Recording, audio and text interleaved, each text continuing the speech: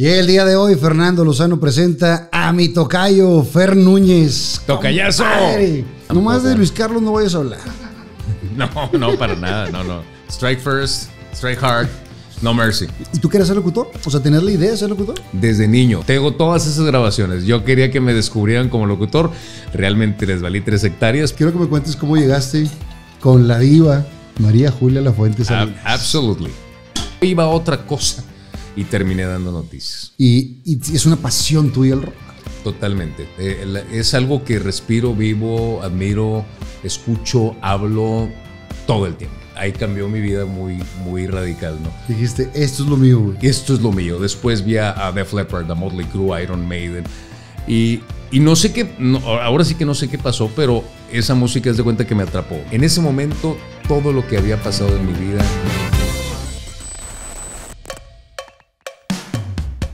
Viva Aerobús. Pest Busters. Mariachelas, Restaurant Botanero Bar. Arella Viviendas. Chocolate Muebles. Las Malvinas. Gasolín. Presenta.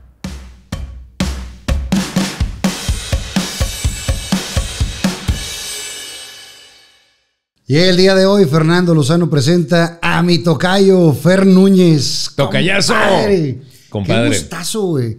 ¿Sabes qué? Y no es coba, ni cebollazo, ni nada. Eres de los más pedidos. Qué caray, O muchas sea, gracias. la gente, cuando yo subo algún video así, invita a Fer Núñez, me mandan mensajes, invita a Fer Núñez, a Fer Núñez, a Fer Núñez, a Fer Y por fin pudimos eh, concretar. Oye, Tocayo, pues, eh, pues muchas gracias a, a tu público, la verdad, este, Es por tuyo, la güey. petición. El que, lo, El tuyo. el que lo pide es tuyo. Y pues qué gusto, la verdad, estar aquí contigo. Digo, finalmente, después de tantos años de conocernos, finalmente poder coincidir en, en una charla así. La verdad que he visto todas las entrevistas, están padrísimas y pues un, un gusto acompañarte aquí en tu y, espacio. y conocer tu, tu historia, que es una historia de altibajos, de friega, de, de partirte la madre, güey. Sí, Porque sí. No, no es cualquier cosa. Naces un 18 de marzo de 1976, la maternidad Conchita. Yo también nací en la Conchita. Naciste en la Conchita de también. mi jefa. Ajá. Perdón, Punchline. Perdón, perdón a mi madre. El punchline, ahí lo tienes guardado, ¿verdad? Sí, siempre digo esa, Esa. esa madre. Sí. Eh, hijo de. Don Leonel Núñez Galaviz, eh, un hombre que de- nace en General Terán Ok. y que a los 13 años eh, viene a vivir a Monterrey y este, a los pocos años conoce a Elvira Villarreal Gómez, que nace en Monterrey, su padre venía de Ciénaga de Flowers, este, se casan, tienen 10 hijos. Cabrón. El onceavo, este, bueno, van a Tampico, ocurre ahí un incidente, and here I am, y soy el onceavo, el, y el último del- de la dinastía. 11. ¿Cuántos se llevan entre el primero y tú? Nos llevamos fácil eh, veintitantos años, ¿eh? 25, 26, no sé cuántos tiene mi hermano mayor. Mi hermano mayor pudo haber sido mi papá. Sin ningún Tengo problema. sobrinos que casi son de mi edad. Este, la brecha generacional con mi papá era grandísima, este, pero la verdad, eh, eh, una familia muy grande. Yo crecí rodeado de sobrinos, crecí rodeado de familia, crecí rodeado de, Las navidades deben ser una cosa impresionante. Maravillosa, impresionante, ¿no sabes? A veces le deseabas la Navidad a la misma persona. Ah, caray, el día Ya te, te- ya te, ya te te felicitaste media hora. Sí, no, no, no. Teníamos que hacer a veces una rueda como la, este, para, para no perdernos, porque sí, éramos un chorro. Tengo, hay videos de esas Navidades donde se ven todos felicitándose con todos y se das cuenta que es un- la entrada de un concierto. Cuando, cuando tú naces ya había hermanos casados. Mi hermano se casó, en- yo nací en, en marzo del 76 y mi hermano se casó en diciembre. Casi, casi no conviví con él porque se, se casó, yo estaba súper chavo. Pero vaya, de que comencé como que a razonar del mundo, yo ya tenía sobrinos, ¿no? O sea, entonces ya tenía sobrinos, ya tenía. Que los veías como primos. Prácticamente, fueron mis, mis primitos, ¿no? Yo como era el salero, eh, me tocó cuidarlos, ¿verdad? En su momento. Pero sí, haz de cuenta que eran primitos, ¿no? Pero muy divertido. ¿A qué se dedicaba tu padre? Mi papá era gente Aparte de ser hijos. Aparte de ser hijos. Aparte de tener una puntería bruta. Eh, Impresionante, güey. O sea, eh, pero Clint Eastwood le venía pendejo. O sea, lo. Papá venía eh, eh, de una gente, fue gente de viajes mucho tiempo, estuvo trabajando en Philips. Él, él le tocó, eh, fíjate, a, a papá, eh, le tocó ir a, en su momento a Soriana, con el dueño de Soriana, y llegó él, trabajaba en Philips para ofrecerle los servicios, en este caso de todos los focos que hacía, que hacía Philips. Eh, y el, el, dueño, no sé, o el gerente de compras o whatever, que le dijo, ¿sabe qué, señor? Ahorita ya tenemos nuestro proveedor para este, toda, toda la eléctrica. Toda la eléctrica de porque en ese entonces como que era una sola marca, no, no había las multimarcas, ¿no? Que, que había. Y papá fue y se presentó y le dijo, señor, pues bueno, aquí está mi carta, mi tarjeta para lo que se le ofrezca de todas maneras. Yo nada más vengo a saludarlo por si se le ofrece. Pues la otra marca quedó mal y, le hablan, le hablan a mi papá, señor, pues, este, ¿qué cree? Vamos a hacerle un pedido para todas las Sorianas de ese entonces, que fue en el 74, no sé, 73, no sé qué año fue cuando le hablaron, y le dijeron que él iba a surtir todo eso a la tienda. Habló a México para decir esto y en México le dijeron, ¿qué? ¿Necesitas cuántos focos? Ah, para ponernos a jalar durísimo que no lo completamos. No lo completaron, o sea, fue un pedido que con eso compró la casa donde yo nací. ¡Wow! Así, con eso te digo todo. Con el... Y, la, la, neta, digo, debe ser muy difícil para un padre de familia darle casa, comida y sustento a 11 hijos. Mi papá lo hizo cabalmente. No solamente eso, educación, a decir gracias, a decir por favor, a no poner las, los codos en la mesa. Los principios y valores. Los principios y valores, a ser un caballero para los hombrecitos de la casa, eh, a, darnos educación, a darnos una disciplina increíble que tenía papá. Era un hombre disciplinadísimo en todo sentido. Bohemio, eh, le encantaba la música de, de los tríos, le encantaba. Y le encantaba también sus whiskitos, ¿verdad? Siempre, siempre, su copita con el. Era una persona que yo admiraba muchísimo en ese sentido, ¿no? Y tenía eh, una personalidad increíble. ¿Y tu mamá con tantos hijos me imagino que dedicada al hogar? No, mamá es, eh, es una chulada, mamá. Es la bondad hecha mujer. Mamá eh, da, ha dado todo por sus hijos, dio todo por sus hijos, dio todo por sus nietos y ahora da todo por sus bisnietos. Ah. Es una mujer encantadora que todo mundo, en ella, eh, doña Elvira, le decían en la primavera, pues Elvira Villarreal, mi madre, es una, un encanto de mujer. No sabes cuánto, cuántas veces recurría a ella cuando la necesitaba. Desde niño, en todo momento, siempre me, me dio por mi lado. Mis hermanos siempre me, me, echaban carro porque decían que era doña Florinda y yo era Kiko. O ella era doña Naborita y yo Rodolfo Gelatino. Ahí, madre. Ahí. Y ya de cada vez que la veo, madre, acaba de llegar tu obra maestra. Este, porque realmente es, fue así conmigo porque como tuvo tantos hijos, pero todos fueron seguidos, todos mis hermanos se llevan uno, dos años, todos, o sea. Hasta el pilón. Hasta, y, yo tengo ocho años de diferencia, o sea, sí fue un pilonzazo, pero cañón. Entonces, eh, dice mamá que no tuvo no pudo disfrutar tanto a ellos porque todos fueron seguidos. Entonces, cuando llegué yo, mis hermanos ya eran grandes, ya tenían sus parejas, entonces mamá ya eh, me puso mucha atención a mí. Mucha más atención. Mucha, mucha más atención. ¿Y, viene el celo de algunos de ellos o no? Pues de repente, pero es más carrilla. O sea, mis hermanos toda su vida les encantó echarme carro, que si el consentido, ahí sí, ahí sí, me dice mamá el tesoro. Eh, ese, es el apodo, el, treasure, ¿no? Y yo siempre que le llego a ver, siempre le digo, ahí llegó el tesoro. O sea, y mis hermanos les encanta tenerme carro. Mi mamá está cumpliendo 80 y... Ay, caray. Eh, Qué bendición. Sí, 80 y tantos. Ahorita digo, desde el 36. Es una cosa eh, maravillosa y la adoro a mi mamá. No tienes idea. La, adoro con toda mi alma, mi madre. ¿Naces en qué colonia? En la colonia Primavera. Okay. Ahí me crié en la colonia Primavera. Toda la vida este, e, era amante de estar en la bicicleta. En los 80 tú sabes que podías salir en la bicicleta, te ibas hasta Garzazada, en mi caso que pasaba por toda la colonia tecnológico para llegar a Garzazada o por Contritesoro, en la, bajadita que está allá por eh, San Maximiliano Colbe, en la iglesia, una bajada padrísima.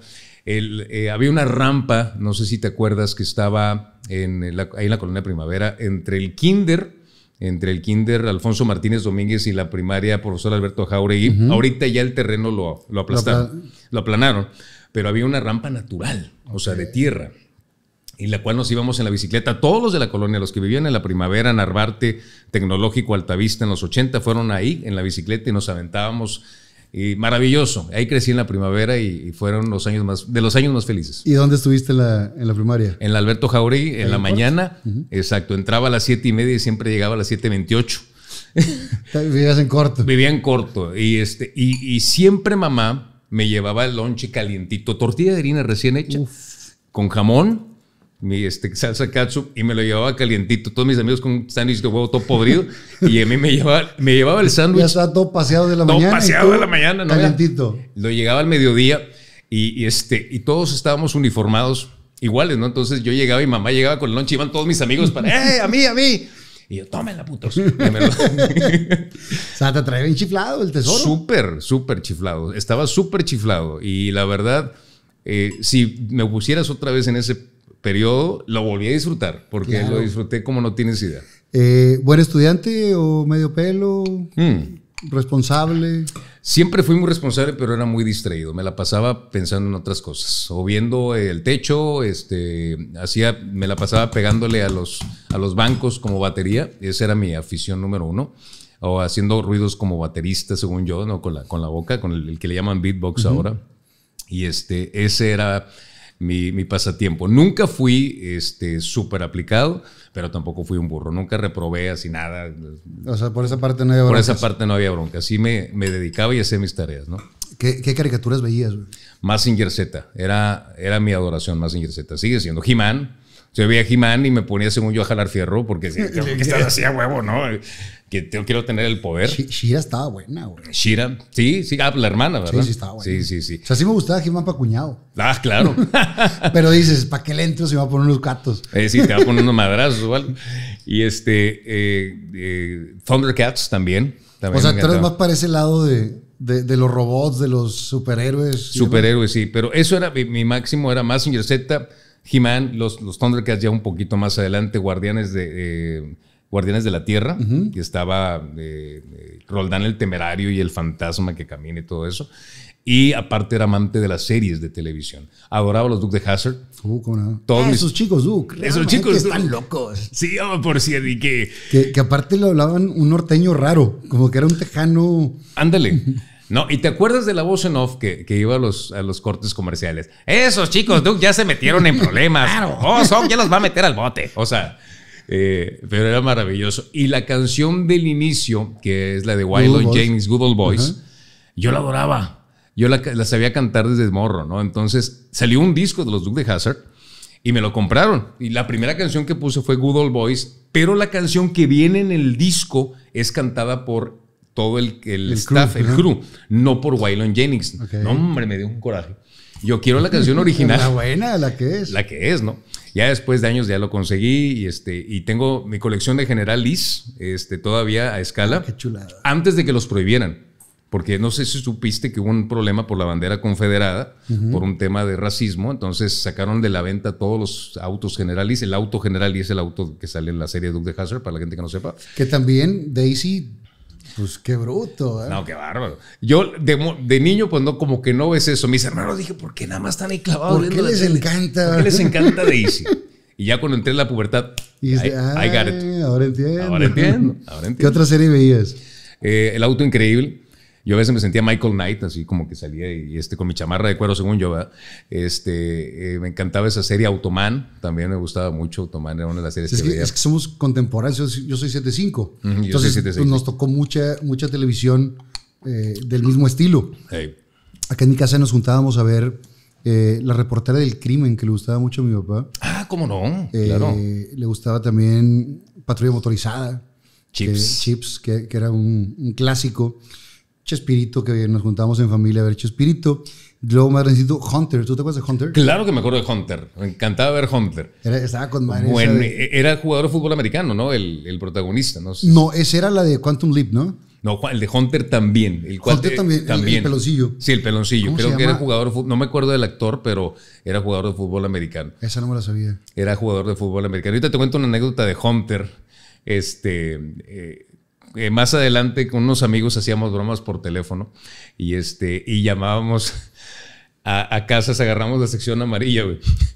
Bueno, la sección blanca que traía nombres de gente. De, las casas. De las casas. La amarilla era comercial y la otra las casas. Exacto, de las casas. Que yo, no sé, ahorita sería imposible. No, no, no. O sea, sería un, delito. Un, delito. claro, ¿dónde está la privacidad? ¿Dónde está la privacidad? Oye, y agarrábamos apellidos de gente. Oye, hablábamos en la casa de la familia Porras. Contestaban, bueno, y nosotros, oiga, está el señor, alabío, alabío. Y luego hablábamos a casa del señor tirado, oiga, levántelo, y le colgábamos. Ahí lavan ropa. Ahí lavan ropa, güey. ah, qué cochinos. hablábamos a, una vez, mis amigos y yo, Federico y Carlos, que te han de acordar los cabrones de esto. Yo saqué una máquina de escribir y, hablábamos de que, hablamos de la policía judicial y, yo se ponía una máquina de escribir como que si hubiera que estamos en una oficina, ta, ta, ta, ta, ta, ta. Y, y, este, y hacíamos como que de una secretaria, Hunter, Hunter, aquí estoy, Hunter, tómame. O sea, por la serie de Hunter, por eso, digo, por eso me acordé. Eh, y, era muy buena la serie. Era muy buena la serie. ¿Qué, ¿qué otras sabía de esa, de esa época? Porque eran como que los inicios de las series. Cuando, eh, eh, aparte, los, las series de ese entonces no tenían continuidad eran comunitarios. eran, eran capítulos. Eh, muy rara vez tenían continuidad, ¿no? Salvo cuando Kit perdió contra Kat de El Auto Increíble, pero no tenían continuidad, eran historias individuales. Pero todas esas series las adoraba eh, y las veía religiosamente. otra. El cielo puede esperar, se llamaba. Claro, eh, Michael Landon. Michael Landon. Michael Landon. Los Walton. ¿No te tocó eso de los Walton? era más de la etapa de mis hermanas. Los Walton. ¿Sabes cuál veía mucho? Starsky Hodge. Starsky Hodge. Todavía, de hecho, tengo un, gran torino también a escala que adoraba Starsky Hodge porque todo lo arreglaban con chingazos. No sé si te acuerdas, o sea, no sé de dónde, pero todo lo arreglaban con chingazos. Y no, y no había bronca. No había bronca. Nadie se ofendía. Nadie se ofendía. La, academia no los expulsaba. No, la academia no los expulsaba. no había problema. O sea, si te acuerdas, eh, Starsky Hodge era, era muy ese estilo, ¿no? Sí, eran, todos querían. Rudos. Sí, eran rudos. ¿Qué te pareció cuando se sacan la película años después ya con Ben Stiller? Mira, eh, la película es que le dieron un toque, de, tanto Ben Stiller como Owen Wilson le dieron un toque más cómico, ¿no? De lo que hacía el actor era este, yo, este David Soul. David Soul que también David Soul hizo la película de la noche del vampiro, la serie de la noche del vampiro, que esa película la, la, adoro, o esa serie, era una serie, una miniserie. Este, siento que les dio otro toque. Yo con ver el coche fui muy feliz, la verdad. con eso. Con eso no me importaba lo que pasara. Salió una rola de Chicago All Days en una, un fragmento de la película. Me gustó mucho Chicago. dije, ah, con madre. Y hay otra cosa también que, que me fascinó de la serie, de la película que muy poca gente entendió. Owen Wilson, hay una escena donde antes de que se almuerza Carmen Electra y a la otra chava, ¿te acuerdas que, que se aventaron ahí su, su, su numerito? Y saca una guitarra y empieza a cantar una canción. Y la gente no, en el cine no entendió, me acuerdo. Él cantó Don't Give Up on Us, que es una canción que hizo David Soul, que era el actor original que interpretó a, a, Hutchinson, precisamente, este, de David Soul. Y sale David Soul, salen los originales ahí al final de la, de la película. Igual que él me pasó con los Duke de Hazard, la película que hicieron ya con Jessica Simpson, pues... Ah, sí, lo que pasa es que también creo que los que conocimos la original no nos gusta esa parte. Claro. Ver, otra, otra cosa, porque nos gusta la añoranza, nos gusta la, parte de recordar esa época bonita. Claro. Pero eh, vemos ahorita películas, remakes, que, que nosotros vimos las originales y a los chavos les gusta mucho sin ningún problema. Claro. Nosotros tenemos ese, ese chip ahí medio, medio raro. Eh, ¿Tú escuchabas música por tus hermanos o a ti te gustaba, eh, eh, tú empezaste a oír música por tu lado? Fíjate que la primera canción que me aprendí en mi vida fue un disco de 45 las mañanitas. y la primera canción, fíjate, fue al final de Manuel. Tenían mis, mis, uno de mis hermanos, no sé quién, pues tengo un chingo este, tenía un, un, disco de 45 revoluciones, un single de, al final de, de, Manuel y la, me la aprendí. La segunda canción que me aprendí, tengo una grabación a los dos años del 78 es la de Polito Polito. Mi gorrión chiquito. Mi gorrión chiquito mueve las alitas y canta bonito. ¿no? Le mandamos un saludo al Duende Bubulín. Duende Bubulín, que, olvídate que yo adoraba al Duende Bubulín. Y luego después, eh, la música infantil, Odisea Burbujas, Parchís, obviamente, este, que escuchaba en ese momento. Enrique y Ana. Enrique, fíjate, Enrique y Ana no, nunca. ¿No te gustó el disco chino? Disco, eh, digo, lo conocía, pero como que ya no sé, ¿no? Ya Enrique y Ana como que lo veía ahí medio, medio curioso que fueran novios, así como que pero con qué objeto, O sea, no había manera. Sí, no, se supone, ¿ah? Pero es que dijeron eso una vez, ¿no? Pues, pero se parece que aparte como que la, edad no daba, ¿no? La edad no daba, ¿no? Porque él, él estaba más grande que, que la chavita. Mucho. Pero sí me acuerdo que sacaron el, el disco chino eh, físico para jugar el para jugar el disco chino, ¿no? Este, y de la música infantil un día no sé qué pasó, eh, estaba en, la casa y, prendo Canal 12 a las 12.30 del domingo. ¿A qué hora era el programa de tu papá, el aficionados? Lo, lo movían de horario, estuvo a las 12, a la 1, a las 11. Se me hace que era, antes de aficionados. este, estaba RG en TV. El programa de videos RG en ese entonces. Después se llamó TV Rock, pero era. Entonces de repente eh, sale un video de Kiss. ¿no? Cuando RG Ponían ponía rock, es que RG ponía rock, ¿no? Era rock grande. Y sale un video de Kiss, I Love It Loud, ¿no? Este, que en el video salen unos cuates que se hacen zombies por ver el videoclip de Kiss y sale Kiss tocando y el baterista con una batería doble bombo arriba de un cañón y, y, lo, y los ves maquillados y todo y, ahí cambió mi vida muy, muy radical, ¿no? Dijiste, esto es lo mío, güey. Esto es lo mío. Después vi a Def Leppard, a Motley Crue, Iron Maiden y y no sé qué, ahora sí que no sé qué pasó, pero esa música es de cuenta que me atrapó, me, me, atrapó en ese momento. Fue gracias a mi hermano, mi hermano Chuy este, veía mucho sus videos, pero yo entré y me adentré y me, me fui. ¿Te dejaste ir? Pero de derechito, o sea, bien cañón. ¿Cuál fue tu primer disco que compraste? Pyromania de Def Leppard fue el primero. Mis papás fueron a hacer despensa un día y en ese entonces, precisamente, a, Soriana Country, que era el que quedaba cerca de la casa de todos ustedes, eh, que era el único, nada más estaba Soriana Country, estaba Astra. Astra eh, autodescuento acá. El autodescuento que estaba acá por el TEC. Eh, su casa, que en su casa más cerca estaba en la Lindavista. Después lo hicieron gigante, su casa. Y Blanco, que abarata la vida. ¿Te acuerdas? Blanco, Blanco, Blanco. Abarata, la vida. Estaba ahí en el centro. Pero Soriana nos quedaba cerca, no existía HIV, no existía Walmart. No existía nada de eso. Simplemente Garzazada y Alfonso Reyes era alto de cuatro esquinas con semáforo. Ah, sí, no tenía puente. No, tenía puente. No, no, estaba ni Cars Junior, ni estaba la placita, nada. no había nada, ¿no? Y este, yo creo que hasta nos íbamos, bueno, papá traía... Bueno, atrás de Soriana los monjitos siempre han estado, güey. Ah, claro, claro, vendiendo ahí los panecitos, ¿no? Los, lo que venden ahí en, la, en las monjitas. Este, y siempre me les pegaba a mis papás para, para eh, hacer despensa, para el súper, ¿no? Íbamos a hacer el súper ahí. Y la sección de discos de en ese entonces era gigantesca. Y yo me la pasaba horas, horas, horas, horas viendo discos ahí. Mientras ellos hacían súper, tú te quedabas en los discos. Era mi fascinación, porque llegaba y veía las portadas, no sabía ni qué traían. O sea, veía discos de Molly Hatchet, Ted Nugent, Pink Floyd. Y no sabía qué traían, pero me imaginaba por la sección donde estaban, ¿no? Y Iron Maiden y Judas Priest. Y, y en una ocasión dije, este de Def Leppard eh, me gustaba mucho, dos canciones que había escuchado, y la portada no traía algún demonio o algo que pudiera tener una objeción por parte de mis papás. Era un edificio incendiándose. Dije, bueno, pues de aquí soy. Venga. mi papá me lo compró con ayuda de mi madre. ¿Cómo era tu tornamesa? Era una... Eh, ay, caray, era un, era un estéreo, así, este, sonda, ¿no? Creo que marca era.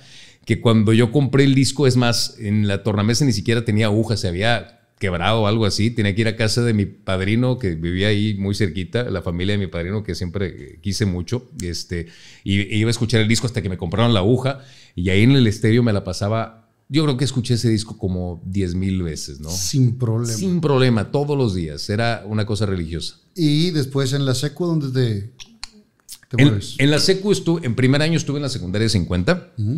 Este, eh, hasta o sea, que... eras de la high. No, pero ahí te va. De la Jaime Torres Güell. De la Jaime Torres Güell. no, estás en la Toston. No, en la 50 estaba en la, Toston, En la Toston. Toston High School. Toston High School. Y en la Toston, en una ocasión. Por ahí vivía Pini Ramones. Pini era mi vecino. Pini, Pini vivía, de hecho, eh, yo vivía en, en pie de la cuesta. Pini vivía en. Estaba Playa Santiago, la otra calle, ahorita me acuerdo cómo se llama era, era vecino, de hecho es muy amigo de la familia. Eh, Pini, muy, muy amigo de la familia, le mando un fuerte abrazo. De tus hermanos grandes. De mis hermanos, sí, él conocía muy bien. ya está grande el Pini, güey. Sí, era, era, era, amigo de mi hermano Arturo. Exactamente, se conocían muy bien y todo. Y, este, y las tostadas del Boni. Las tostadas del Boni, por supuesto, las, este, la frutería que existió ahí. Todo esa, esa área nos conocíamos todos muy bien. Generalmente, eh, cuando estábamos chavos, conocíamos a, como parte de la colonia, ¿no? Y te juntabas con la racita de colonias aledañas en las tardes a, jugar. Y ahorita, de entrada, pues no ves a los niños jugando en la calle, güey. No, no, no. De hecho, eh, ya hace poquito pasé por ahí. Digo, mamá ya no vive ahí, no, en esa casa ya no vive nadie. Y pues, está, digo, no, no sé si sea el término correcto, pero está muerta la colonia. O sea, me refiero que cuando eh, vivía yo ahí o cuando estábamos chavos, veías gente en la calle. Y los Halloweens eran desmadre y las Navidades todo el mundo en la calle antes de que te crucificaran porque tronaras cohetes y cuando nos divertíamos todos y ahora no, o sea, las luminarias hasta están este, súper tenues, todo se ve bien triste, no sé, ya cambió mucho, ¿no? La cosa. Y ya cuando decimos que ya cambió mucho así, ya estamos más grandes. Ya estamos más grandes. ya estamos más grandes. Totalmente. Salud. Salud, Tocayo.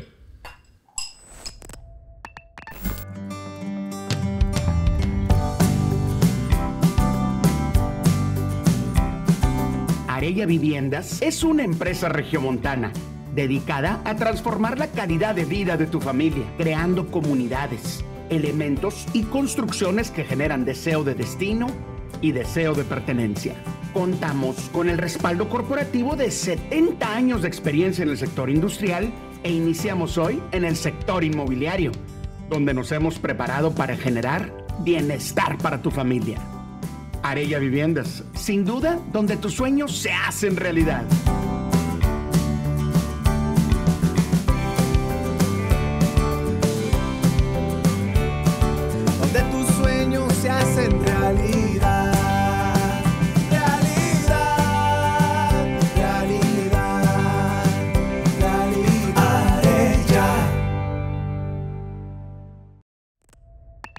Oye, mágicamente se convirtió en, termo. Es increíble, es increíble la magia que, hay en este, en este estudio de, ser un. ¿Estás tomando agua natural? Totalmente.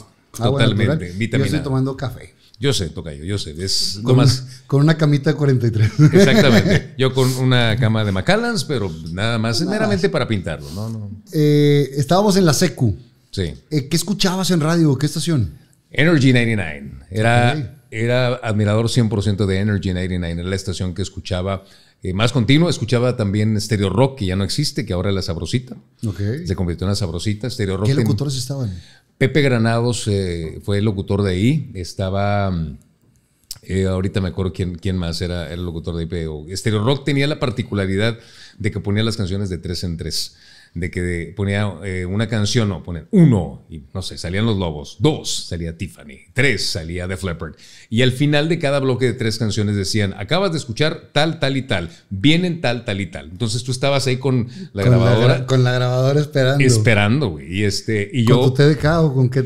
Eh, eh, mi, mi, cassette favorito era el Maxell CRO2, de, de dióxido de cromo, de 100 minutos que después me dijeron que debió haber sido de 60 porque el de 100 este, forzaba mucho las caseteras, ¿no? Pero mi, el Maxell para mí era mi adoración, el TDK era el segundo lugar. ¿Y qué, tenías de grabadora? Fíjate que mis papás, mi papá, bueno, Santa, eh, milagrosamente me trajo una grabadora doble casetera, Sony, en el 80, la Navidad del 85 u 86, y fui, créeme, ha sido el mejor regalo del mundo, lo adoraba. Y más porque las caseteras se escuchaban las dos al mismo tiempo, entonces podía mezclar, una canción con la otra. Y oh, qué cosa. Eh. ¿Y, en, Energy 99 quién estaba? En Energy 99, eh, en ese entonces Adrián Peña, Pablo Flores, eh, estaba Carlos Garza, Rolando Ruiz, estaba Beto Núñez, que es mi primo. había locutores que. Alfonso Álvarez que los escuchaba y hablaba a la estación, pedía canciones, me sacaba la llamada al aire y tengo esas grabaciones todavía. Neta. Yes. Tengo todas esas grabaciones. Yo quería que me descubrieran como locutor. Realmente les valí tres hectáreas, pero mi llamada salía al aire porque escuchaba mucho esa estación y también Stereo 7. En Stereo 7 eh, estaba, Stereo 7 tenía la particularidad que tenía el programa de Museo del Rock con Alfonso, eh, Alfonso Saldaña, perdón, con Poncho.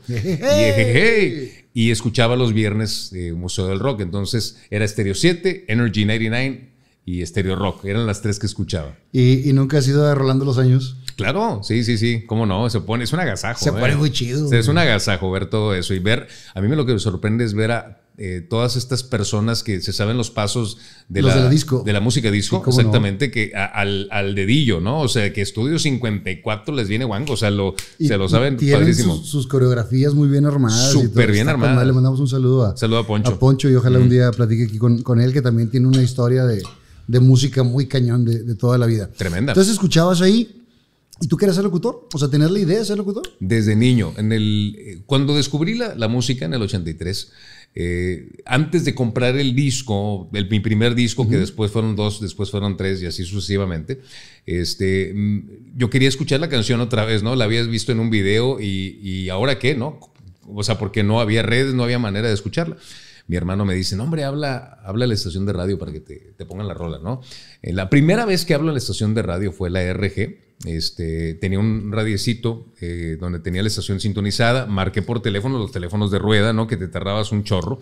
Yo no sé cómo mágicamente la primera llamada... ¿De qué color era tu teléfono? Era color hueso. Aburridísimo. Yo tengo este... Rojo. bueno, el rojo está más bonito. Era como ese. De hecho, era como ese. Decía Alcatel abajo. Este... Y, que le, subías y le bajabas un poquito el volumen.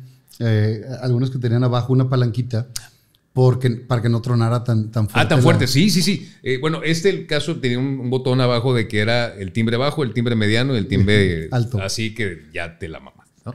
Entonces, este, me acuerdo que, que la primera vez que marqué, eh, la primera vez suena la llamada y lo más curioso es cuando estás escuchando el, el ring en el teléfono, lo escuchaba yo en la estación. Dijiste, sí es la mía, cabrón. Sí es la mía, güey. Y estaba, estaba Adrián Peña al aire.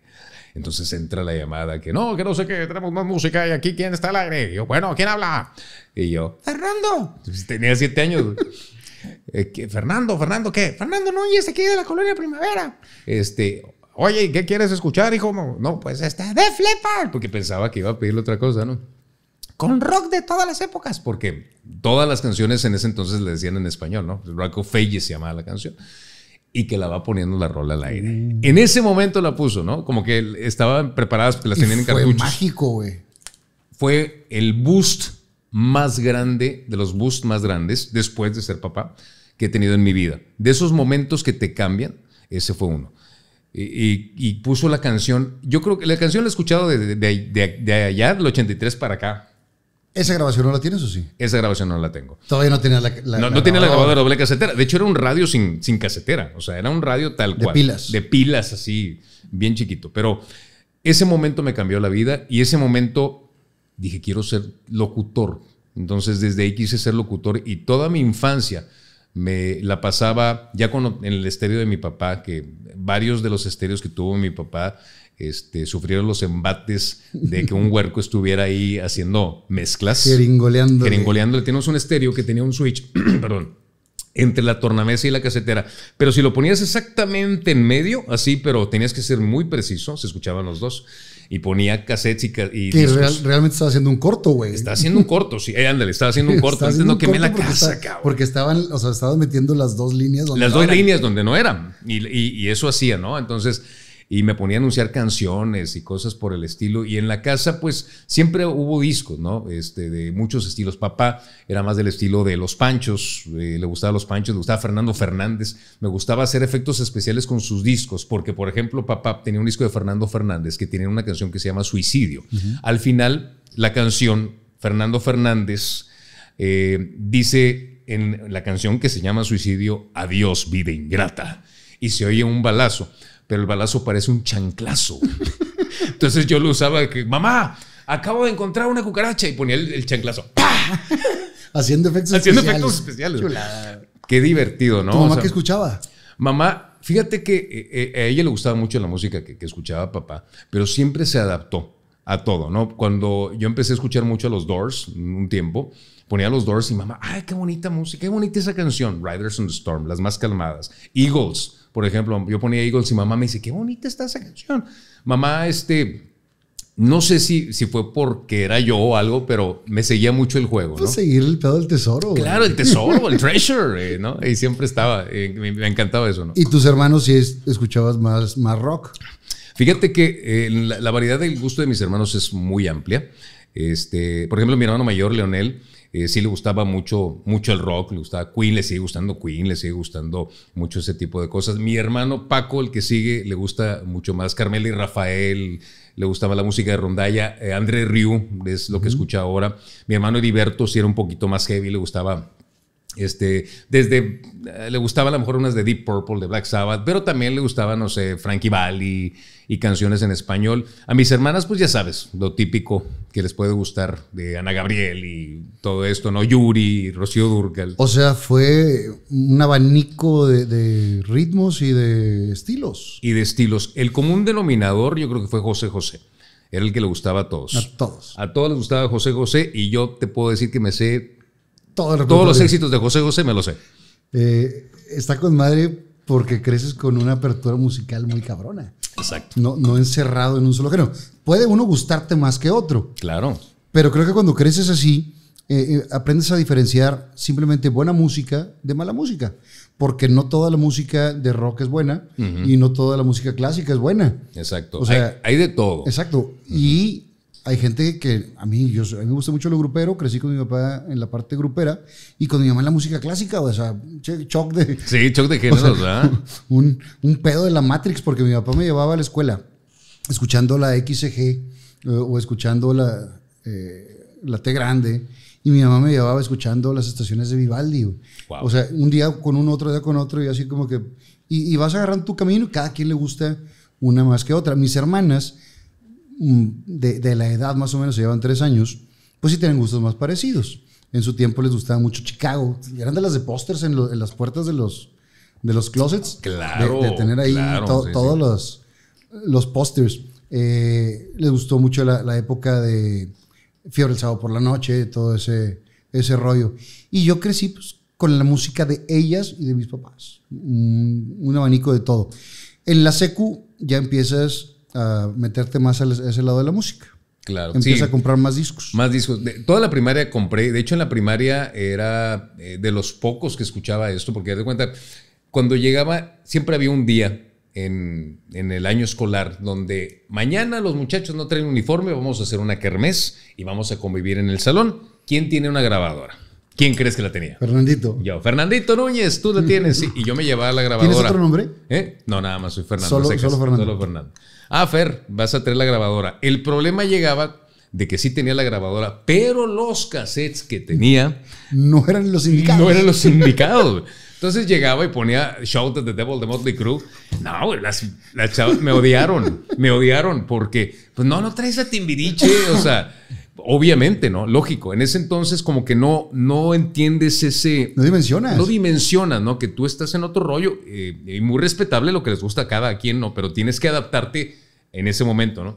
Y lo único, el único cassette que tenía que le gustaba a todos era el soundtrack de Karate Kid que venía la canción de Moment of Truth de Survivor. Ese Moment of Truth. Truth. Bueno, ese es el único que tenía que les gustaba. Ponía Moment of Truth y todos se imaginaban acá a Daniel San, ¿no? Claro. Pero ¿Dónde viste Karate Kid? En Multicinemas o Cinépolis. Multicinemas. Yo salí tirando madrazos de ahí. Sí, claro. O sea, salía tirando de la grulla y la chingada. Cosa, y todos queríamos ser. Todos queríamos ser. Bueno, yo la verdad sí me identificaba mucho con Johnny Lawrence. Decía, ching, o sea, yo, porque Johnny era el badass ahí, ¿por qué perdió? Bueno, ya, viendo Cobra Kai, ¿verdad? Cambió todo. ¿E-, ¿Eres de los seguidores de Cobra Kai? Eres súper seguidor de Cobra Kai. O sea, strike first, strike hard, no mercy. Yo, yo soy fan de, de Cobra Kai y, y, nos vamos a lo mismo, a la nostalgia, porque si la analizas bien, e-, es una novela. Ah, claro. Porque es una novela. Es una novela, pero y, tiene así como que el mensajito y todo. Está muy linda, pero te lleva a la nostalgia de lo que vivimos. Con la música, el hecho del carro, el hecho de que te lleve a un estilo de vida que ya no existe, a una sociedad que realmente ya no existe, porque el grado de, en este caso que tenemos hoy por hoy, de, eh, de cómo puedes sorprenderte con las cosas, a diferencia de hace 30 años, muy distinto, ¿no? Hoy ya la gente, todo el mundo le vale madre todo, y hace 30 años no. Entonces, al ver Cobra Kai, yo cuando vi Cobra Kai dije, o sea, soy yo, o sea, en muchos sentidos. cuando salió y me aparece de recomendación en Netflix, eh, la veo y me aventé toda la serie una sentada, güey. Claro. De una sentada, no dormí esa noche, pero yo estaba y otra y otra. Y, es muy digerible. Para los que vivimos esa época, los que no la vivieron, la ven y dicen, ¿qué es eso, güey? Claro. pero los que la vivimos, muy cañón. ¿Viste eh, How I Met Your Mother? Vi, vi solo capítulos. Hay un capítulo donde eh, el güey quería eh, conocer a Johnny Lawrence. Ah, claro, que ese es el capítulo que originó, se dice que originó Cobra Kai, ¿no? Que, está vestido de payaso. Porque regresó, lo regresaron a la, vida del medio. Claro. Y, entonces se identificaba el güey con él, porque todos querían a Daniel San, pero el, otro güey era el, que quería conocer a este cabrón. Claro, claro. Es muy bueno. Muy bueno. Es que cuando yo, cuando vi esa película, todo el tiempo estuve, o sea, el Johnny, bueno, pues obviamente todo lo que vivió, ¿no? Pero eh, no que estuve del lado de Johnny, pero siempre fue como que no, este cuate no, no es imposible que haya perdido, o sea, no puede ser. No hay manera, que, hay manera. Que el geek le, No, pero pues bueno, este, pero la nostalgia, caray, el, ambiente, el mood. Eh, una cosa que también eh, casi empatado con Karate Kid el año siguiente, Back to the Future. Back to the Future me cambió la vida. Ese lo vi en el Gemelos Tech. Back to the Future no lo pusieron en. Era multicinemas y Gemelos Tech a los que vivimos en el sur. Sí. Y y el Cinema Roma. Y el Cinema Roma, exacto. Ahí me llevaron mis papás a ver los 10 mandamientos y me quedé dormido. Este... Yo, vi una de las primeras en tercera dimensión. De las primeras que, llegaron a Monterrey, que te ponías los lentes, los clásicos de, cartón, güey. Sí. Y, y había una escena donde tiraban como unas monedas de un cofre y sentías que te estaban cayendo en la jeta y era vivir una experiencia por primera vez en tu vida lo que decías ahorita, sorprenderte, porque ahorita, pues, ¿qué te sorprende? Son pocas cosas nuevas que puedes descubrir, pero en ese momento ver por primera vez una película en tercera dimensión con los lentecitos y uno de un color y el otro dice, no entendías por qué, muy chingón. Muy chingón. Fíjate que una que estrenaron en tercera dimensión fue, bueno, la, tercera de Tiburón, creo, fue en 3D. De Viernes 13, la tercera, de, de Viernes 13 fue en tercera dimensión. Y si tú ves la película sin la tercera dimensión, no entiendes muchas escenas donde un cuate le lanza una cartera a la cámara y yo, ¿por qué le lanzó la Pero era para que lo vieras en, tercera dimensión, ¿no?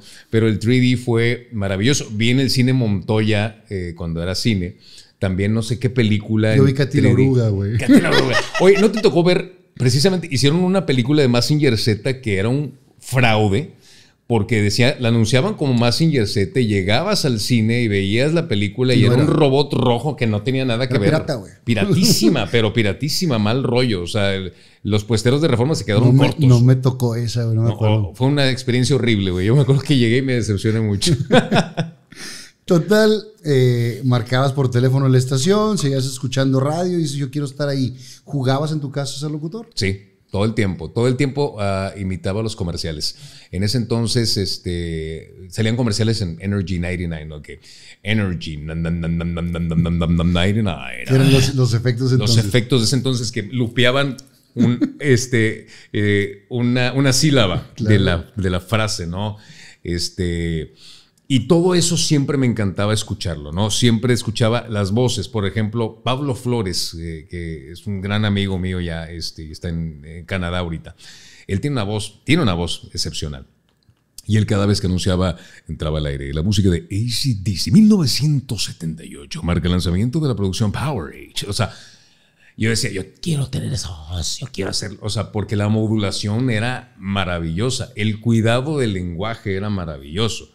Este, y, era es, y todos con un inglés chingón. Y un inglés chingón. Yo creo que ese es un, una de, las, de los plus que siempre teníamos, y todos mis amigos coincidíamos con eso. Escuchábamos eso por escuchar el inglés, para aprenderlo y escucharlo de, esa manera. Y yo soy de la idea que, que Adrián creó un estilo muy cañón. De, de, la generación anterior, Adrián, él hizo como, la modernizó muy cañón. Totalmente. Y, y es un máster que muchos siguieron ese ejemplo. Creo que lo platicamos aquí con la parca. Todos cuando entran al, medio siempre tienes como un role model, como seguir por este camino, a tu estilo, pero sí por este camino. Y creo que de ahí marcó una generación de locutores muy cabrón, Adrián Peña. Hay, hay un antes y un después de él. O sea, eh, yo soy de esa escuela y te puedo asegurar que muchos somos de esa escuela. Totalmente. Lo escuchábamos a él este, como un role model 100% radial por eh, la eh, principalmente el, léxico que tenía, ¿no? el vocabulario, el inglés, eh, la, intención de la voz al entrar al aire. O sea, no era entrar las 6 con 5 minutos, 25 grados. sino era entrar y a decir, eh, la música y la diversión es doble con la presencia de no sé qué grupo y con este tema, qué barbaridad. O sea, esa modulación te decía, wow, o sea, la canción, a pesar de que la habías escuchado mil veces, la escuchabas con un... y con más gusto porque como la presentaba, ¿no? La presentación de la canción hacía toda la diferencia. Y, sigue siendo un chingón el, máster Adrián Peña. Eh, hace, o sea, el año pasado fui a unas entrevistas ahí a, Grupo Radio Alegría. ¿Está en Alegría? Estuvo, estuvo en Radio Alegría. Ya no, está en Alegría. Ya no, ya no está. Ahí me tocó, me tocó saludarlo. Y, bueno, es una pistola. Después de ahí te vas a la prepa. Me voy a la prepa. Estuve en la secundaria 50, un año solamente. ¿Y los otros dos? Y los otros dos. ¿Por qué el cambio? ¿Por qué el cambio? Porque un día mis amigos y yo, eh, unos amigos, José Luis, este Luis Alberto y mi tocayo Fer Contreras, un día dijimos, oye, ¿por qué no nos la perreamos mañana? El perreo en 1989 no, es bailar hasta abajo. No es bailar hasta abajo. ni mover las nylons. Ni mover el, el era No ir. Era no ir a la escuela. E, ese era perreártela, ¿no? Este, todos, pues sí, vamos a. Hasta pues, qué puede pasar, ¿no? Este, nos vimos en, en la. En la, una papelería que había por la secundaria, que es la papelería Primavera. Este, y luego. ¿La que estaba por Alvarado? Eh, no, estaba en, una lateral. No, en el Boulevard Primavera está el, lápiz rojo. Todavía está ahí. Pero hay otra. El lápiz rojo era muy obvio, porque estaba enfrente de la primaria, todos te iban a ver. Nos vimos en la otra, como si nadie nos fuera a ver, ¿verdad? Que estaba ahí a una cuadra. Este, y dieron las 7.20, 7 y media, y nos fuimos, fuimos al Soriana, que estaba cerca de ahí, ¿no? Y dejamos las mochilas en el área de, de paquetería, y nos fuimos al centro a hacer nada. Nada. Nada. Nada. O sea, esa es la palabra, nada. Llegamos, había un, eh, estaba Salinas y Rocha, llegamos, hay un Sears, bueno, había un Sears, no sé si esté todavía, ahí en Juárez, nos bajamos y recuerdo muy bien que nos bajamos todos al ser saber nada. Este, eh, estamos, pues, eh, ahora sí que pendejeando. Y había una, una cámara Handycam Sony 9. ¿Quién les sabía a los camiones para llegar allá? Todos. En el 89. Yo cuando estábamos en la secundaria, todos nos movíamos en camión. Este, es increíble, pero todos nos sabíamos mover en camión sin problema. Este, creo que fue Ruta 1, no me acuerdo qué ruta fue la que nos llevó. O el satélite Tapia, creo que era el satélite Tapia el que pasaba por ahí, o el Panchuela, uno de esos. Ahorita no me acuerdo, pero. Este, y había una cámara, la Handycam Sony, que era nueva en ese entonces, que fue en el. Esto fue en el 89. Este, y tenían una pantalla grande, no de, obviamente, las de ahorita, pero sí una pantalla grande con la cámara. Y, veo la cámara y me pongo yo a hacerle caras a la cámara y no sabía que la pinche cámara estaba conectada a una tele gigante y todo se me estaba viendo haciendo caras. bueno, regresamos eh, a la, al, horario, de, salida, nos fuimos a las casas, todo normal, pero una compañera se dio cuenta y fue y peinó. Y peinó. Al día siguiente nos hablaron a dirección, este, están expulsados. ¿Cómo? directo sobre sí, la idea. Sí, sí, sobre la idea. Van a terminar el año escolar y van para afuera. Y había una razón, había una sobrepoblación en la secundaria 50 en el 89 espantosa, entonces con que movieras un dedo para el lado que no era, estabas fuera. Y eh, de ahí todos nos dieron rampa, yo pasé a la secundaria 66, que en ese momento me acuerdo que sufrí mucho porque este, decepcioné mucho a mi papá, mi papá se enojó muchísimo, obviamente. Mamá, mamá pues siempre me, Trató más conciliadora. más conciliadora, pero papá se enojó muchísimo. Nunca lo vi tan enojado en mi vida como esa vez. Pero en ese momento dije, caray, ¿qué hice? ¿Eran de castigo físico eran de castigo nada más de.? papá jamás. Nunca hubo una nalgada. jamás. Una sola vez me dio una nalgada cuando era morro, pero jamás fue de castigo físico. Pero no necesitaba papá castigo físico. Con la pura mirada. Con la pura mirada tenía. Y la voz, una voz. Fernando. No, nada más soy el Fernando, hijo de su madre. Eh, impresionante. ya, si no es, es Fernando. Cuando es Fernando, hay pedo. Este, pero pasé a la secundaria 66, que era el turno de la tarde, y ahí estaban todos los rejects de todas las secundarias. Que no sabes si es rehabilitación o, te mm, vas mm. al, hoyo, güey. No, no, no. O sea, lo primero que vi en la secundaria 66 fue Welcome to Hell. este, pero ahí conocí a mis mejores amigos, güey. Me la pasé a toda madre. Yo el primero de secundaria eh, eh, tenía un sobrepeso impresionante, era una, una bola, o sea, literal, estaba súper eh, pasado de peso, porque me encantaba comer. Entonces, pero cuando me cambio a, segundo de secundaria, entró la pubertad, ¿no? Y entró, pues obviamente, el, el hecho de, de, querer este, llamar la atención y pues no, ya me di cuenta que no, no funcionaba, ¿no? Entonces, a raíz de eso, a raíz de que me corrieron la secundaria, me puse a, hacer dieta, me puse a hacer ejercicio. Este, siempre veía las películas de Rocky me inspiraba, ¿no? Y salía así como que, este... ¿Cuál, Rocky es tu favorita? Cuatro. Claro, güey. Por supuesto. There's no easy way out. Yo voy en el carro y oigo no easy way out y voy encabronado, aunque no esté encabronado, pero como hijo su madre. Este, o sea, escuchar Burning Heart para mí es así como que matón o este, o este Hearts on Fire, de todo, el soundtrack, ¿no? Hasta Living in America. Es, muy bueno. Esa película la amo. Y la Rocky 3 también, obviamente. Sí, 3, es que son las que nos tocó también de, la época. Y también ya ves la última y dices, ching, ¿para qué la hace? Sí, no, la, cuando hicieron las 5 que, le, que hasta le pusieron rap y... No, no, o sea, ya. De esa, pero, sí, 3 y 4, güey. 3 y 4. Y después vi la 1 y la 2 con otra perspectiva, ¿no? Pero que la 1 realmente es muy buena, Buenísima, buenísima, buenísima. La 1 es, es una, digo, se fue nominado también y, todo, y toda la historia que tiene de que vendió a su perro para poder hacer la película y todo lo, lo, que conlleva eso, pero es muy buena. Ya la 3 y 4 fueron mucho más comerciales. Exacto, pero el hecho de ver Rocky 4, o sea, cuando eres morro, ¿no? Y ver que está haciendo ejercicio con la rola de fondo y todo, te inspira mucho. Mis, carnales, mis carnales siempre fueron, este, principalmente Heriberto, Arturo y Chuy, eran muy dedicados al gimnasio y hacían mucho ejercicio todo el tiempo y me inspiraron mucho a mí para hacerlo, ¿no? Entonces, de, tus hermanos siempre, en mi caso, agarraba eh, lo más importante de cada uno de ellos. Mi hermano Chuy, por ejemplo, siempre fue eh, super Catrín, bien vestido, bien perfumado. Yo toda la vida no ha ido un día en mi vida que no salga perfumado de la casa, aunque estaba niño, ¿eh? O sea, era morro y les volaba perfumes, lociones, ¿no? De caballero, ¿no? Mi hermano Arturo. ¿Cuál, cuál usabas, güey? Eh, de morro, eh, la Dracanor, Dracanor. Dracanor. Y luego la Polo, eh, fue un tiempo la Polo. La, una que se llama Leipidus, me acuerdo, que eran también la Azaro. Azaro. Azaro, ¿te acuerdas del Azaro? Este, ¿y cuál más usaba? Y luego mucho tiempo utilicé. Estefano, ¿no te acuerdas de eso? Ah, sí me acuerdo de Estefano, que el comercial no lo entendía. ya después que lo entiendes y se pasaron de riatas, güey. ¿Cómo hicieron ese comercial? Estefano. Estefano. ¡Ay, Estefano! Estefano. Oye, pinche Estefano bien potente, Se, pasó, se, pasó, se pasaron con ese comercial. Si nadie sabe de lo que estamos hablando, busquen ese comercial en, en YouTube. Y está bien pasado. Está bien pasado. para los 80. Para la época, muy pasado. Muy pasado. Este, ¿qué otra? A mí, una de mis ilusiones favoritas después fue Cristina Herrera. Eh, Carolina. Carolina Herrera, perdóname, Carolina Herrera. Pero sí, ya está, ya. Ya, early 90s, ya, early 90s. Sí, porque, porque en ese entonces no había tantas opciones como vemos ahorita. No, pero Dracar era como que. Sí, esa era la chida. La chida, ¿no? Mi papá usaba de esa, güey. De, bote negro, ¿no? Así como que. Muy padre. De, de esa le, le, tumbaba ahí. Porque mi papá también eh, siempre bien perfumado. Siempre. Y siempre rasurado y siempre.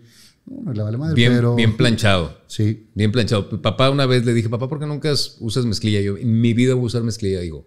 Siempre andaba de pantalón de vestir este, cinto, zapatos bien boleados, camisa bien planchada, con el pantalón con la rayita, la loción bien, bien, peinado con su este, Wildrop, no sé qué madre se ponía. La única vez que vi a mi papá con mezclilla fue en la película de los peceros. Órale. Y porque era vestuario. Porque era vestuario, ¿eh? Pero él en la vida real nunca.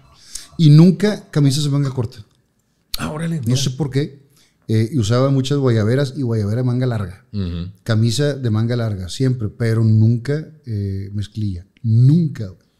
Si me viera ahorita, güey, mezclilla con pantalones rotos y la chingada, madreado durísimo. Mm. Pero pues digo, son épocas, ¿no? Son épocas, ¿no? Como las, eh, las épocas. Y pero te marca, dejas. o te marca lo, importante, ¿no? Yo creo que lo que heredas de, de tu papá siempre es algo que llevas y tratas, en mi caso, de llevarlo a mis hijos y este, o llevarlo en tu vida, ¿no? Lo que eh, hay una canción de Led Zeppelin que dice en In the days of my youth I was told what it means to be a man, o sea, que cuando era joven me decían qué significaba ser hombre y ahora que he alcanzado esa edad quiero hacer lo mejor que pueda todo eso que me recomendaron, eso es lo que yo hago, ¿no? De, de tratar de llevar esa vida, de esa educación que a veces con los tiempos modernos es muy difícil. Y cuando ves de chavito, dices, está exagerando, está haciendo estas cosas, pero ya cuando llegas a un punto dices, puta, tenía razón en tantas cosas que no, eh, no le daba la, la importancia que, que, se, que se requería. Exacto, exacto. Y ya te das cuenta muy tarde o, pues es que la verdad cuando tienes 14, 15 años, no, no ves, te vale madre el mundo, así es. ¿Noviecitas en el camino? Sí, sí, sí, algunas. Ya después de que te pusiste a hacer ejercicio. Fíjate, sí, yo, eh, me pasó algo curioso cuando estaba en sexto de primaria, este, eh, se, nos, dicen, nos dicen en la graduación, me acuerdo, en sexto de primaria, eh, todas las, todos pueden escribirle cartas a sus, a quien les guste del salón, ¿no? Entonces, yo creo que no éramos 20 niños en, en el salón, y yo creo que 18 recibimos, los 18 recibieron carta, menos un cuate que se llama David y yo. Y yo, porque yo no recibí ni una carta. No, yo era el gordito buena onda. No, era el gordito buena onda de. Este, ya cuando entré a la secundaria, siguió la misma situación. nadie me pelaba, no, absolutamente. Entonces, me puse a hacer ejercicio, me puse a adelgazar. Mi, mi, hermana, una de mis hermanas, Lupi, es médico, y le hablé, le digo, oye, Lupi, ya estoy este, en un punto que necesito quitarme unos kilos, ¿no? Me acuerdo que me puse una dieta y te digo, me, puse a, correr y a hacer ejercicio y todo. Gracias a la película de Rocky, ¿eh? Rocky tuvo mucho que ver. Y dices, nunca sabes cuándo puede haber un detonante. Un detonante. Rocky tuvo mucho que ver. Rocky tuvo mucho que ver. Es fecha que la veo y es, yeah, a huevo. Este, entonces. Yo también la veo y ching, el día siguiente el gimnasio y luego no voy un mes, güey. o más. Pero el día que la ves sales bien motivado. Súper motivado. Este, y empecé, empecé a adelgazar y cambié también mi manera de vestir, mi manera de peinarme, porque antes te valía madre el pantalón, la camisa que trajeras, ¿no? Entonces empecé a cuidar un poquito más ese aspecto y, y, empecé ya a ver un cambio, ¿no? Empecé a ver un cambio. En secundaria, este, pues tuve varias noviecitas, nada serio, de la secundaria, ya sabes, manita sudada y todo. Eh. Y uh, sí, este, ya pasados los años. A la secundaria pon tú que en primero, pero ya tercero, cuarto, ya, tercero, ya pasando prepa. Ya pasando prepa, ya es, otra, es otro, es otro. Ah, ¿quién te quiere, quién te quiere acá? Ya sé. Y, y no, la verdad, este, ya en, en tanto en prepa, en, en, universidad y ya para graduarme, este, eh, tuve tres parejas, tuve muchas novias, así como que de semanas. ¿A qué, prepa te fuiste? Estuve en la UDEM, en la Humberto Lobo. Okay. Eh, también estuve dos semestres. Aquí, pero aquí fue un tema eh, de falta de atención. La verdad, en ese entonces entré en una faceta de me vale madre el ¿De rebeldía? Rebeldía total. Este, me la pasaba con mis amigos, escuchando música. Entonces, no.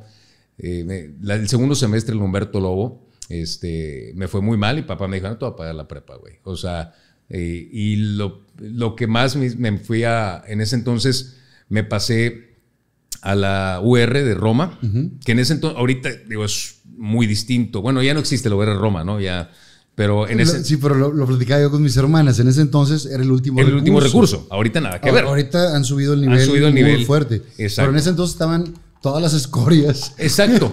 Y me fui a la UR de Roma, hice cuatro tetramestres ahí, ¿no? Entonces ahí es de donde terminé la prepa.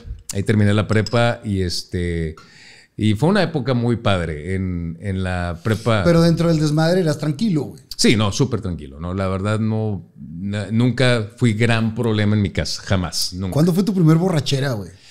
Eh, te voy a decir cuál fue la primera borrachera. Cuando cumplí 14 años, este, no, no, ahorita te digo cuántos años cumplí, pero eh, después, en el 91, de, fui con, al cine con unos amigos de manera clandestina a ver la película de los Doors. Eh, de Oliver Stone en el Gemelos, de Gemelos Tech. Entramos de contrabando porque éramos menores de edad. La película era ah, clasificación C, ¿no? Eh, René y Camilo, me acuerdo muy bien que entraron conmigo, se van a acordar, cabrones. Entramos al cine y. Estaba con madre que entrabas y había las dos escaleras. Había las dos escaleras, sí. Para los dos cines, el sala 1 y sala 2, Entramos a la, a la, película de los Doors y fuimos onda un lunes, güey. O sea, no había nadie en la sala. Entonces vi la película de los Doors. Yo conocía la banda poco. Ese día me hice fan y es fecha que soy súper fan de los Doors. Pero eh, todos tenemos role models de ciertas cosas, ¿no? En la locución ya lo habíamos platicado, en el ejercicio con el tema de Rocky, ¿no? De que tienes un role model de que, bueno, quiero como que poder aspirar a algo así. Y en el rock and roll, a pesar de que había muchos grupos que me gustaran, no había un personaje que, me identificara. O sea, los grupos sí me identificaban, pero no había alguien con quien identificarme, este, de, tener una apariencia física, ¿no? Y cuando veo a Val Kilmer, que hace el papel de Jim Morrison, o sea, pantalón de cuero, güey, pelo largo, este, desmadre. Güey, quiero ser él, güey. Ese es. Ese es Jim Morrison. Y ya después, obviamente, Val Kilmer hace un papel excepcional, Jim Morrison también. Y después de ver esa película, salí, eh, le decía a todo el mundo, yo voy a ser el nuevo Rey Lagarto, ¿no? Rey Lagarto es el, el seudónimo de Jim Morrison. Y mi primera borrachera fue después de ver esa película, a, los, a las semanas, porque quería ser como Jim Morrison. Obviamente me fue muy mal. Y este, pero me divertí. ¿Te cacharon en tu casa? Eh, me pasó que eh, andaba con unos amigos en la, de la prepa, el Humberto Lobo, este, Asbel, Carlos Mena, Carlos Compeán, este, Pablo, eh, que Pablo es un amigo mío que es mi coach de box ahorita. ahorita. Este, y fuimos a casa de uno de ellos de Asbel a agarrar un pedón con madre. ¿Qué tomaste, güey? Todo. Tenía, Asbel tenía una, una, ¿Una barra? Una barra con muestras, ¿de acuerdas? Una de Jack Daniels, una de Black Label, una de... Las de los hoteles. Todas las de los... Bueno, me tomé todas, güey. Hablé a mi casa, eh, porque pues en ese entonces yo no manejaba todavía. Entonces, mamá, contestó mamá, ¿qué pasó, Fernandito? Oye, no hay quien pueda venir por mi madre. No, mijito, chingada madre. Este, y todos mis amigos, ¿qué le acabas de decir a tu mamá? Pero mamá no escuchó. No entendió. No entendió que estaba hablando. Yo, y me puse hasta el gorro, mamá, voy a quedarme aquí en casa de Asbel. Y, terminé.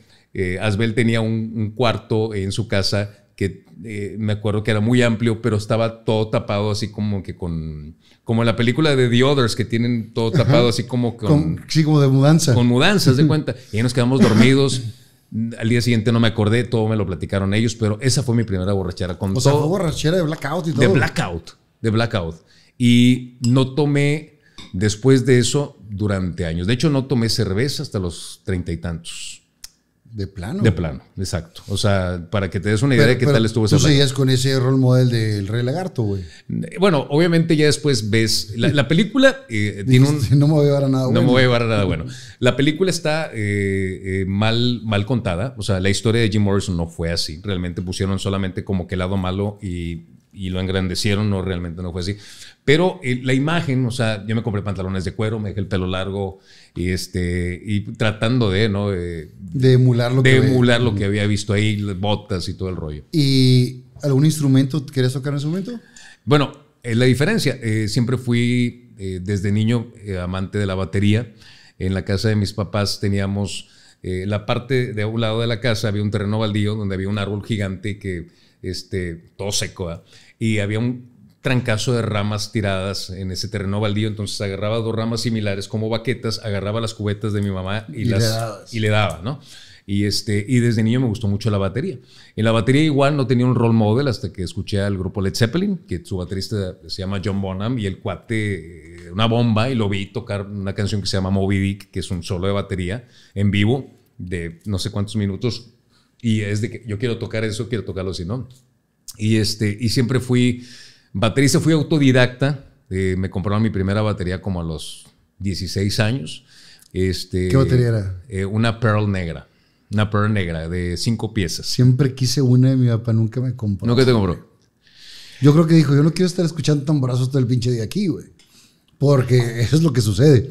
Una vez estuve estudiando acordeón y porque yo quería acordeón de, de Y todo el día ya estaban bien hartos en la casa, güey. O sea, rúmbate la chingada. Claro. Porque sí debe ser molesto tener ruido todo el día no armónico. Exacto, y más para alguien que está aprendiendo. Fíjate que algo que admiré mucho de papá, con todo lo estricto que era, que era súper estricto, en muchos, en muchos sentidos. Odiaba que trajera el pelo largo, odiaba que escuchaba. Eh, no, no me prohibió escuchar rock, pero pues no era. Pero no era su hit. No era su hit. No, pues imagínate él viniendo de los Panchos y los Tres Diamantes. Y que el rock era como los chicos malos de la música. Exacto.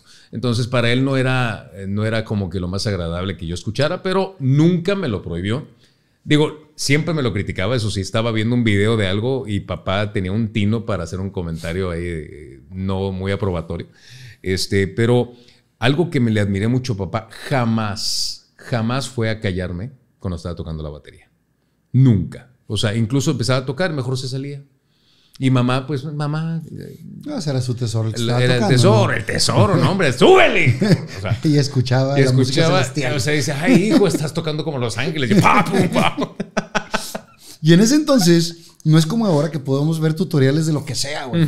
Porque ahorita pones, quiero tocar batería en YouTube y te enseñan todo. Exacto. Pero en ese entonces no había esa facilidad. No, y, al ser autodidacta, eh, al principio, pues obviamente haces demasiado ruido, eh, totalmente eh, innecesario. innecesario. Es, una cacofonía total. y creces, y creces pues, también con, vicios musicales. Eso es lo peor. Eso es lo peor. Sabes que hay algo que me han preguntado mucho que es de que qué pudiera cambiar de, de, tu técnica. De mi técnica. Es haber aprendido la técnica desde el inicio, porque es más difícil desaprender, desaprender y volver a aprender. El cerebro eh, sabe muy fácil aprender y muy difícil desaprender. Ya tengo eh, como unos cuatro años tocando, tomando clases y me ha costado mucho trabajo quitarme los vicios. Que los vicios son, eh, en la, baterísticamente hablando, terribles. Son los que hacen que toques mal, a destiempo, que no tengas técnica, que uses el cuerpo de más. O sea, realmente para empezar, el torso, de aquí el torso para arriba no se debe mover. No sirve para nada. Exacto.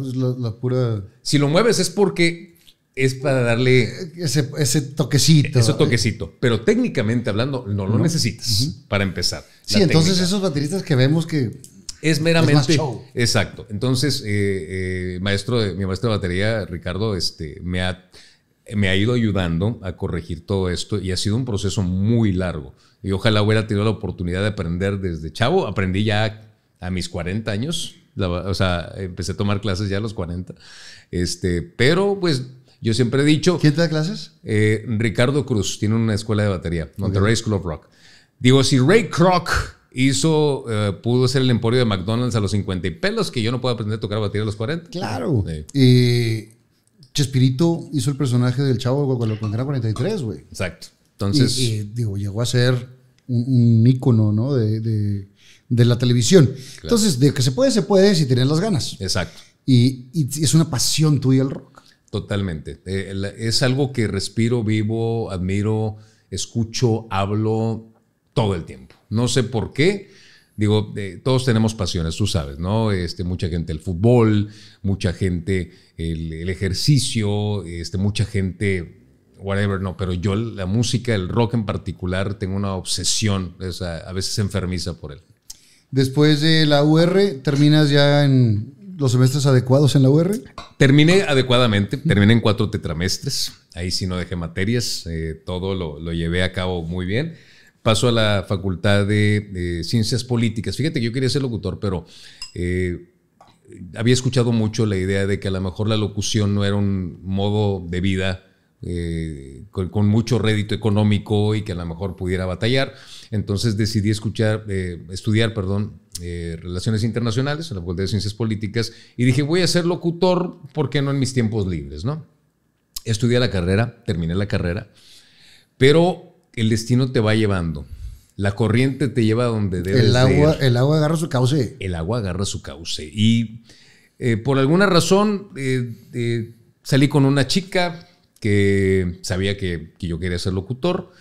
Y en, esta chica me dice un día, oye, ¿tú, quieres, tú me dijiste que querías ser locutor. Y yo sí. Oye, es que en la, ella estaba estudiando comunicación en la UEM. Y me dice, es que me encargaron una tarea de hacer una, un programa de radio en Radio UEM. Y la verdad, este, pues quiero ver si me puedes ayudar, ¿no?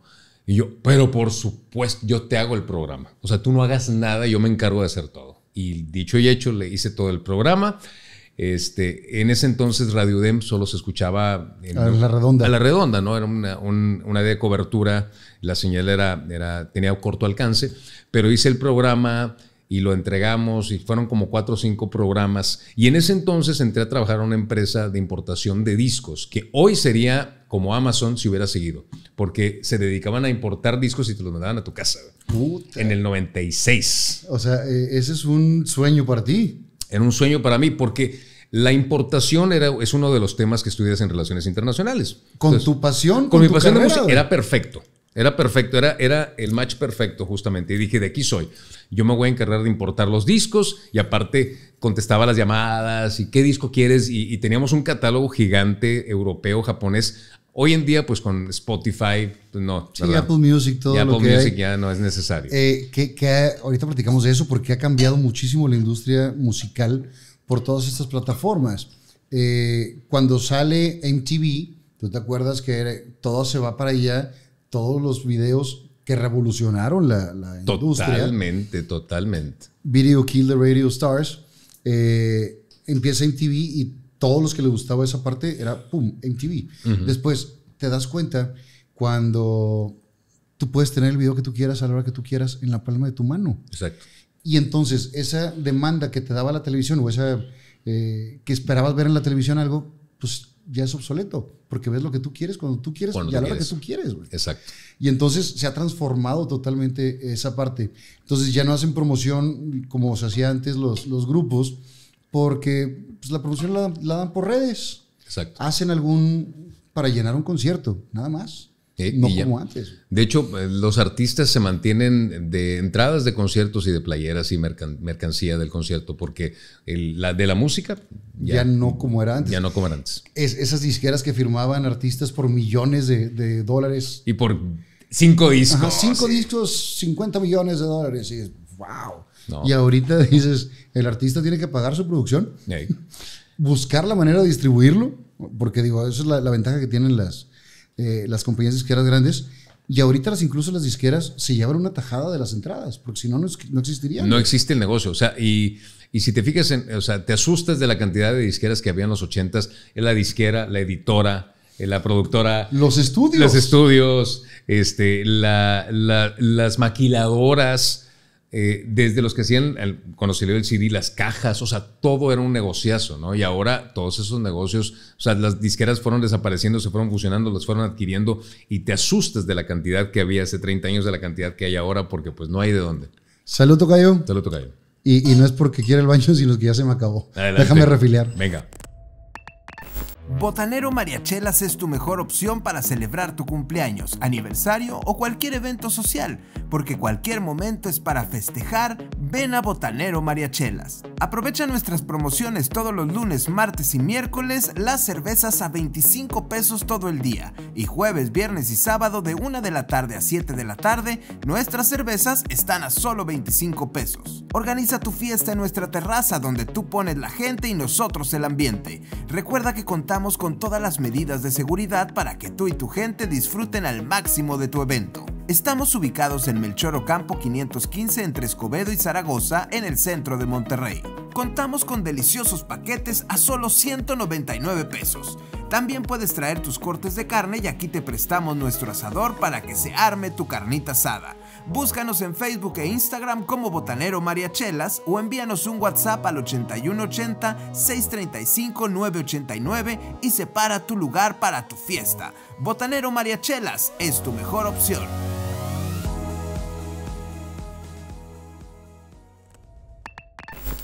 se sigue cambiando, güey. Es impresionante la magia de este estudio. O sea, David Copperfield nos viene guango. No, la super pellizca. Eh, hiciste el programa este de radio con la chica, te, dijiste, yo quiero hacer todo. Sí, sí, sí, la producción, el guion, la música y el, el programa salía grabado. Este, entré a trabajar a la, tienda este que te digo, Fonoscan, que hoy hubiera sido un Amazon, o sea, porque se dedicaba a la importación eh, de, discos, de material eh, fonográfico, y, este, y esta empresa estaba asociada con Stereo 7. Entonces yo trabajaba ahí de lunes a viernes. Y un día me hablan para decirme, no quieres venir el sábado porque necesitamos hacer un pedido de no sé qué cosa. Y este, les digo, no puedo porque tengo un programa de radio. Obviamente no entré en detalles, nada más les digo, tengo un programa de radio. Nunca les dije, es un programa de radio estudiantil que ni mío es. Y me dicen, ¿a poco eres locutor? yo, sí, claro, sí, soy locutor. Es que tenemos un convenio con Stereo 7 y necesitamos un locutor este, para un programa que, tienen ahí de, música. ¿Quieres entrarle? yo, pero por supuesto. O sea, y pues no, no era locutor, realmente estaba haciendo un programa como un favor, por así decirlo, porque yo quería ser locutor. ¿Cuánto tiempo estuviste en ese programa? No, un mes. fue bien, bien corto, pero, pero fue el pequeño trampolín. Siempre necesitamos de pequeños trampolines que nos lleven a otra cosa, ¿no? Y estoy muy agradecido este, con esta chica por haberme invitado, porque esto me dio la, la oportunidad de que en Stereo 7 me abriera la puerta para empezar un programa de radio, el cual era un, me dieron un programa eh, de, al final del viernes en la noche, a las 11 de la noche, de una hora que se llamaba Alto Voltaje. Yo lo puse Alto Voltaje y ponía heavy metal. Y aparte tenía otro programa. ¿Y tú podías poner la música que quisieras? Hasta que se dieron cuenta. Dijeron, a ver, mijo, aquí hay una parrilla de programación. Aquí hay una parrilla de programación. Primero me apegaba mucho a la parrilla, pero siempre tiendo a irme saliendo con el paso del tiempo. Y me fui saliendo, me fui saliendo hasta que llegó un punto en que don, don Ernesto Hinojosa, en paz descanse, tipazo, un señorón, eh, una institución aquí en Monterrey, escuchó el programa y dijo, ¿qué está poniendo este huerco, cabrón? Y, este, y me lo quitaron. Pero lo que duró el programa en Estéreo 7 eh, estaba junto con un programa llamado Radio Marketing que vendía los discos que vendía, que, tenía esta tienda, ¿no? O sea, había un disco un día de Cat Stevens, de éxitos de Cat Stevens que iba a vender en promoción y yo anunciaba el disco en un programa de radio para decirle, ¿quieres este disco? Te lo mandamos a tu casa. Y me aprendí la historia de Cat Stevens o de Elton John. Y desde ahí empecé a... ¿Dónde buscabas la información? Revistas, donde pudiera. Cuando no tenía información, le hablaba de repente a amigos que tuvieran la información de que, oye, ¿qué sabes de este cuate? O ¿qué sabes de este otro? O de Sticks, o de muchos grupos, ¿no? Y a veces los mismos discos traían este, leyendas y empezaba a leerlos. Y yo desde chavo también coleccionaba revistas de heavy rock, metal hammer, circus, este, Hot, de, Hot Parade creo que se llamaba, este, y eh, como que se me quedaban datos. ¿Cómo, era tu look en ese momento? Eh, en ese momento eh, traía el cabello largo. Este, me dejé el cabello largo porque te digo que según yo era el rey lagarto, el rey lagarto pero pues el rey lagartija, ¿no? Una cosa así, región 4. ¿Playeras este, rockeras? Siempre, toda la vida. Pero siempre originales, siempre oliendo bien, que yo siempre tuve la, idea de que, de que el hecho de que tuvieras este gusto por, el, por la música no tenías que, oler a húmedo. Este, sí, no tenías por qué no bañarte. No, no, no, no, para nada, no, este... Entonces cuidaba mucho ese aspecto, siempre este, bien perfumado y todo, pero con mis playeras de, grupos, ¿no? Y este, con la, la greña larga y, este, y hubo un tiempo en que eso fue mi look. Todo el tiempo traje ese look, decían que me parecía ya Luca Grignani, el de Mi historia entre tus dedos. Si tú ves una foto mía de, esa época y ves una de Gianluca, te prometo que dices, acá de quién es quién. Yo pienso que... Eh, sí. De hecho, este, hay una, cosa que no te he dicho aún. Eh, en esa época estás eh, en este programa en la noche estás muy chido hasta que se dan cuenta y te, rumban. Exactamente. Me quitan el programa, me quedé con, con el otro programa de radio marketing. Que, era para vender los discos. Era para vender los discos y ya. Pero me quedé muy inconforme, ¿no? Este, estaba triste por la situación porque me quitaron mi programa de alto voltaje que se llamaba.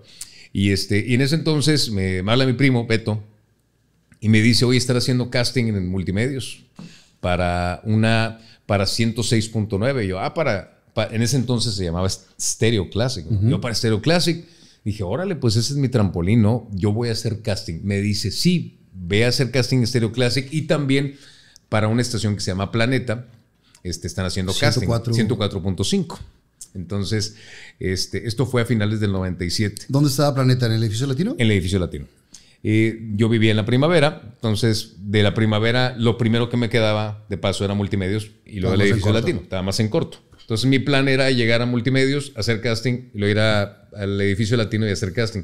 Llegué a multimedios y me recibe Pablo Flores. O sea, Pablo, imagínate, un locutor que yo admiraba mucho. Me hizo el casting, me trataron súper bien. No solamente me hicieron un casting de radio, me dicen, oye, con ese look así de greña larga y todo, vamos a salir a hacer unas intervenciones aquí en la calle, ¿no? Con cámara. Yo, ¿con cámara? O sea, ¿por qué con cámara? Pues tú, tú habla la cámara a ver si también registras, ¿no? Este, salimos ahí a dos de Abril y Paricutín, ¿no? que este, empecé a hacer intervenciones diciendo absolutamente nada. Y les gustó. Y me dicen, ¿sabes qué? Oye, pues, eh, ¿qué te parece si te quedas como voz de 106.9 y aparte en D99, ya no era Energy, ya le habían cambiado el nombre, este, que era The Cyber Station en ese entonces, era el logotipo, The Cyber Motherfucking Station. Bueno, nada más el motherfucking. Este, eh, ¿Seguía Adrián ahí? Seguía Adrián ahí, Adrián era el director. este, haces unas intervenciones para fin de semana, ¿no? En ese entonces, yo, órale va. Me hicieron otro casting para televisión, Iván González. Iván estaba en, su programa en el Morning Show y este, me dio una hoja para anunciar ciertos videos yo, yo traía conocimiento de rock de, de, de, donde venía y me da una hoja y me dice, vas a anunciar esto. Chumbawamba, Thumb Topping, Barbie Girl de Aqua, Backstreet Boys. Y tú dijiste, a ver. A ver. Y yo, ¿qué pedo con esto? No, es que es lo que, es lo que está de moda. Y yo, pero es que yo escucho rock y ese pedo está pasado, ya, eh, ya tú debes escuchar otra cosa, ¿no? Y yo, yo no voy a escuchar otra cosa. No, pero no, no, no fue Iván, pero el, el, tema general es de que pues la programación de 99 es, es esta, ¿no? O sea, y esto es lo que vas a anunciar para el casting. Anuncié eso para el casting, dije, órale, pues no pasa nada, lo anuncié. Pero afortunadamente en, en eh, D99 Televisión, el canal 99, si tenías cable, el canal 99 solo se veía aquí en Monterrey y estaba 99, me ofrecieron varios era programas. MTV. Que era nuestro MTV. Y en ese entonces estaba Iván González, estaba eh, Carlos Olivares, estaba eh, Juan, este Juanito, no me acuerdo cómo se apellida, Chuy Jiménez, o sea, era un equipo de locutores. Yo me integré a ese equipo de locutores estaba Aldo Suriel, Aldo también estaba, era parte del equipo, los, este, los chisqueados también eran parte de ese equipo, que les mando un fuerte abrazo. Y la verdad fue una época de, de dinero. ¿Te recibieron todos bien? Todos me recibieron de maravilla, todos, todos me recibieron súper bien. Este, la verdad, Valle, Valle estaba por ahí también, eh, había este, varios, varios locutores y locutoras. Y a mí me ofrecieron un programa todos los días a las 4 de la tarde, pero cada día era diferente. Un día era un programa de videos que se llamaba Top 9, los top 9 del momento. Uno era también movimiento en español y en ese momento estaba la avanzada regia, que estaba Gran Silencio, que estaba Surdoc, que estaba Plastilina Mosh, este, que estaba, em, pues todas estas bandas que estaban eh, con este, ahora sí que el movimiento regio, que la avanzada regia que se hizo súper importante ¿no? en ese momento, este, Control Machete, todo esto.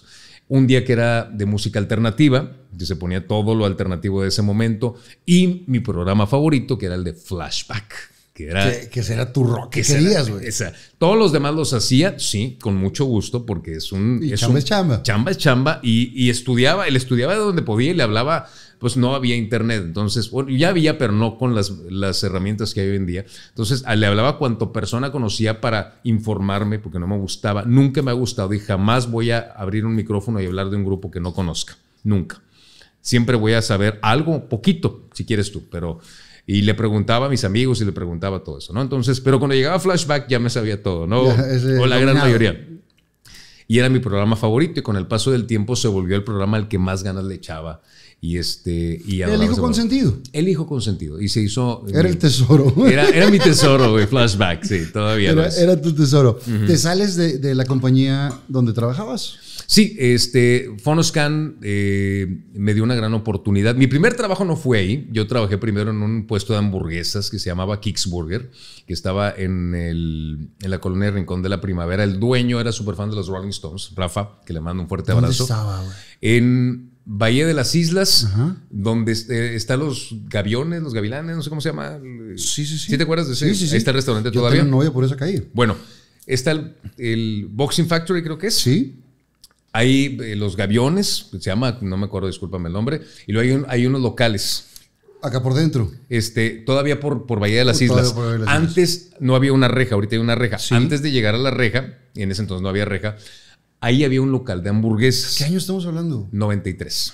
Eso, yo, andaba, y en ese entonces yo andaba con la, con la novia de esa y no me acuerdo. No te acuerdas de esas hamburguesas. Esas hamburguesas eran más famosas para llevarlas a domicilio. Me fui unos años atrás, digo, para darte una referencia de laboral de dónde yo venía. Puse, yo puse unas hamburguesas donde ahora están las del chino.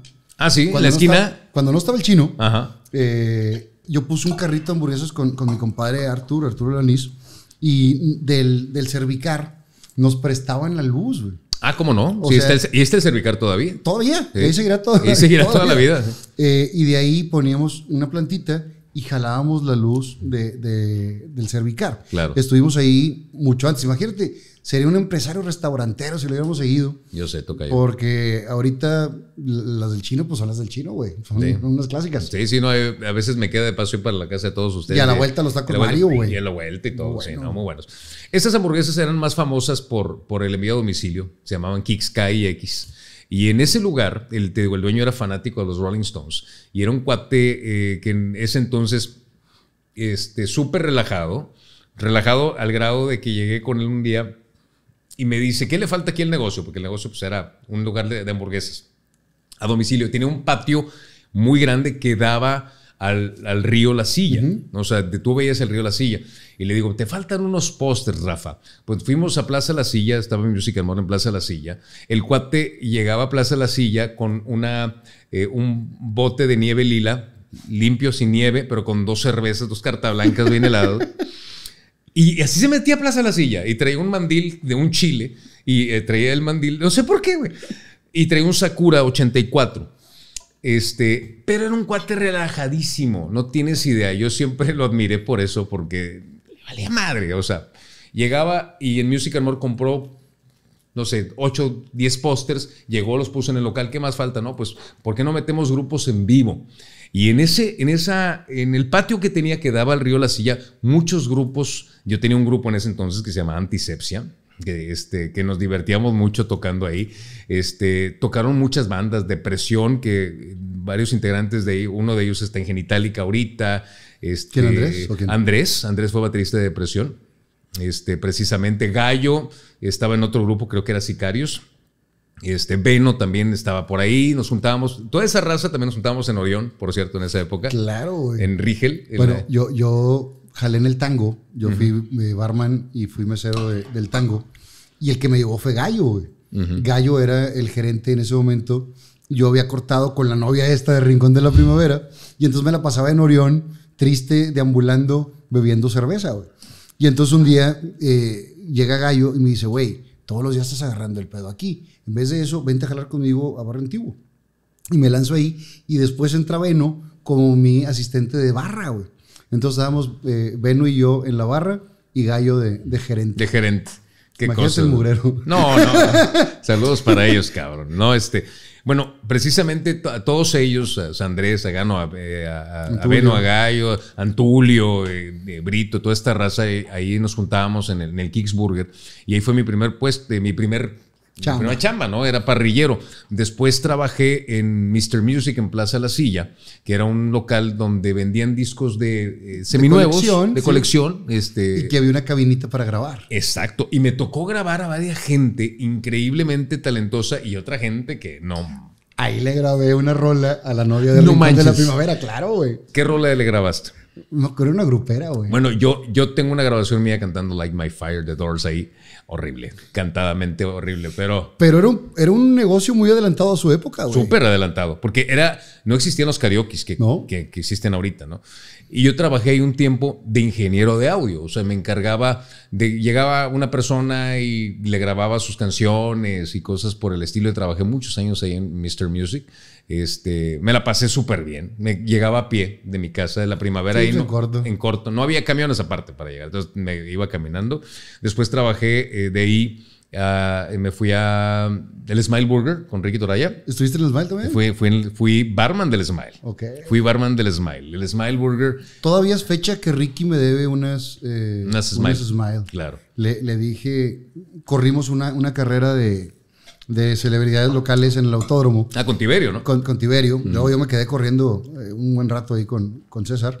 Y, y, ahí una vez quedó Ricky de unas Smile y no las he visto. No, no, no existía una hamburguesa que supere a Smile Burger, o sea, en muchos sentidos. Y la papa de Galeana. ¿Sabes qué? Eh, es otra de las cosas que, que, nos vamos a lo mismo de las series y de, creo que es la, la añoranza del momento y de lo que significaba el Smile, porque era un punto de reunión de todo el sur. Sabías que si ibas a ir ahí y estabas el tronco, veías las fotos de Ricky con todos los artistas. Claro. A todos los que tenía acceso, porque tenía unas pinches fotos chingadas. Increíbles, increíbles, increíbles. Y hicieron un negocio muy adelantado. Que, que, era, que era un tipo, una Ricky me dijo que se inspiró en el Rainbow del Sunset Strip para hacer Smile. Y sí, o sea, era, era más o menos el mismo concepto. Y, y aparte, en esa parte del sur, en los 80, andar de rol. Ah, era otro pedo. Te ibas a Orión, o te ibas a Lindavista, o al Centrito. Eh, caramba, carajo, no, no, qué, épocas. Y, si traías gasolina y, ganas, te ibas a San Nicolás, también a las arboledas. A las arboledas, claro, lo rematabas en o en la pérgola. en la pérgola. Sí, siempre me mandaban ahí, te vas, te me vas a la pérgola. a la pérgola. Este, eh, bueno, trabajé en el Smile Burger, fui eh, barman del Smile mucho tiempo. Este, muy divertido, muy divertida chamba. Aprendí a cómo enfriar cerveza en 20 minutos. ¿Y, Ricky estaba al aire? Este, sí, Ricky estaba al aire. Bueno, en ese entonces iba y venía, pero ahí, ahí obviamente trabajé con su papá, don Ricardo, este, era el que nos supervisaba a todos los chavos, ¿no? estaba muy joven ahí.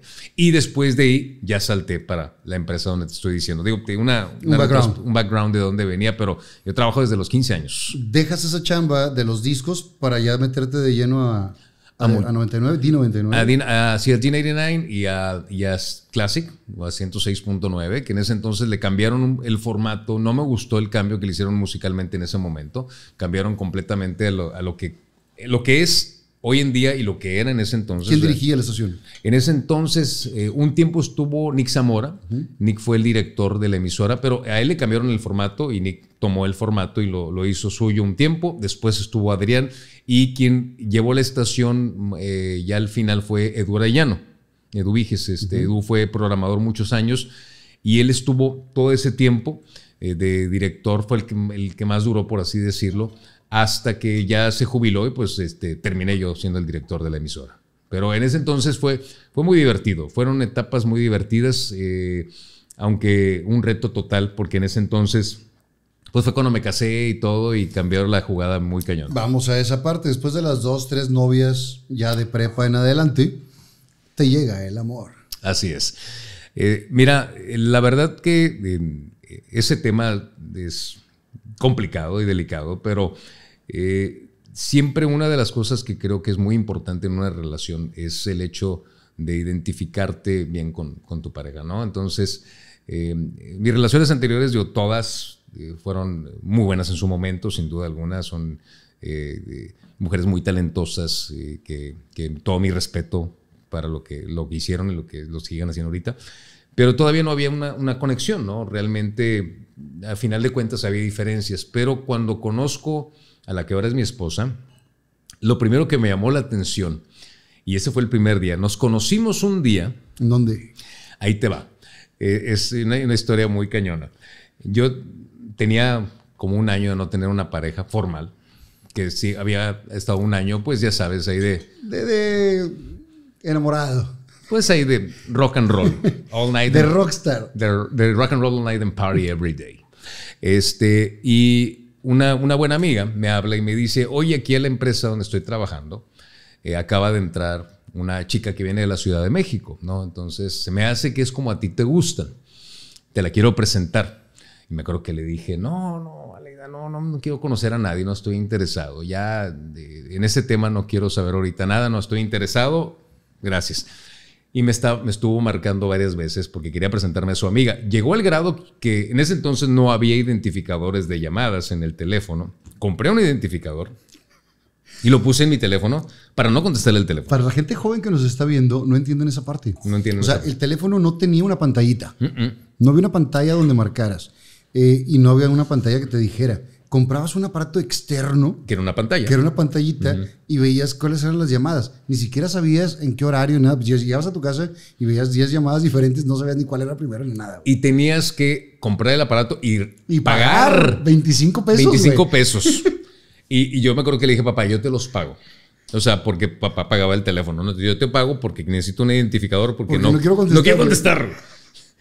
Este, y mi amiga fue muy insistente y en, una ocasión me dice, voy a llevarte a mi, amiga para presentártela, ¿no? Entonces viene a la Ciudad de México, así, así, así es. ¿Cómo te gustan? ¿Te gustan las flaquitas de cabello negro y bla, bla, bla?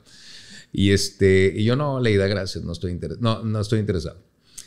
X, el, llegó el día en que me le iba a llevar a presentar, yo iba camino para multimedios, y justo en ahí donde están las pampas, yo todavía no traía carro, me bajé del camión, llego ahí donde están las pampas, iba a cruzar a 2 de abril, ya digo, a, Garza Sada para luego más adelante pasar al Super Roma y llegar a 2 de abril.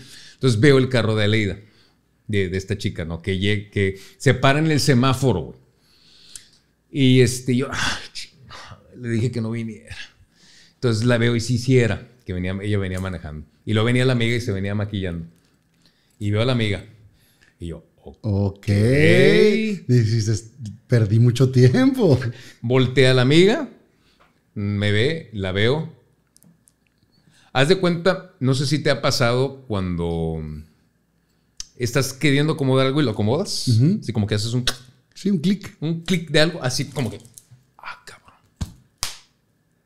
nada más nos reímos los dos y ella así como que maquillándose y yo así como que...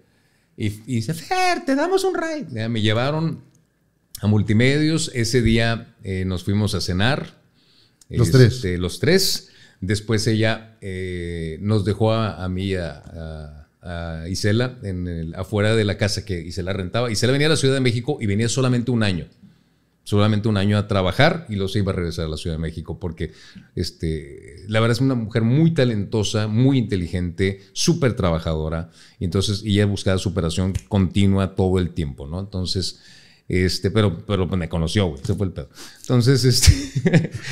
Eh, Hubiera podido ser la primera presidenta de México. Yo pero, aquí, pero, pero, me conoció, güey. Este... Pero sí fue flechazo a primera vista. Muy cañón, muy, muy cañón. En, ese entonces yo tenía o salía con, varias chicas, pero, o sea, nada formal. Y ellas lo sabían, ¿eh? O sea, no, no. Sí, no, no, no había engaño. No había nada más. ¿Sabes que Pues vamos a salir, típico, que vas al cine, pues, a ver qué pasa, pero pues no pasaba nada, ¿no? Pero cuando, cuando llega alguien que realmente te mueve el tapete, dices, ah, caramba, ¿no? Este, esa noche nos conocimos, esa noche platicamos de todo es increíble, parecía que nos conocíamos de toda la vida. Esa noche, prácticamente esa noche nos hicimos novios. Al día siguiente, eh, fue, esto fue de la noche del 4 de febrero, el 5 de febrero era sueto. Entonces, ella juraba que no iba a regresar yo nunca, ¿no? Entonces yo fui el 5 de febrero a su casa. Bueno, la casa que, rentaba. ¿no? ¿Dónde estaba? Eh, allá por eh, Country, en Revolución, donde está el Skateland, del otro lado hay un walk, no sé, un restaurante japonés. En la calle de atrás, ahí había una, una casa que, estaba rentando. Este, me quedaba cerca también de la casa. Y fui al día siguiente y me dijo, no pensé que fueras a venir. Salió guapísima, guapísima. Y yo me acuerdo que llevaba una playera de Iron Maiden, un chaleco de mezclilla, un pantalón roto y le dije, así soy, así me he visto. ¿Lentas? Porque es esa situación de cómo me vestía con playeras de grupos. Había sido había sido con otras. un pequeño detalle, no mucho, la verdad, un pequeño detalle. Me dice, no, pues, me vale madre lo que tú hagas. Tampoco sé bailar. O sea, o bailo muy poquito, no, no, no sé bailar, no me gusta. Y fuimos al cine, vimos eh, la película de Más allá de los sueños con eh, Robin Williams. nos, la pasamos genial. Y, este, y empezamos a construir una relación muy padre, muy, muy padre. Pasaron los, eh, los, las semanas, los meses. Primero le dije, güey, damos a, darnos un tiempo antes de anunciar, porque te acabo de conocer. O sea, ¿cómo le vamos a decir a la gente, no? Este, ya después nos hicimos novios.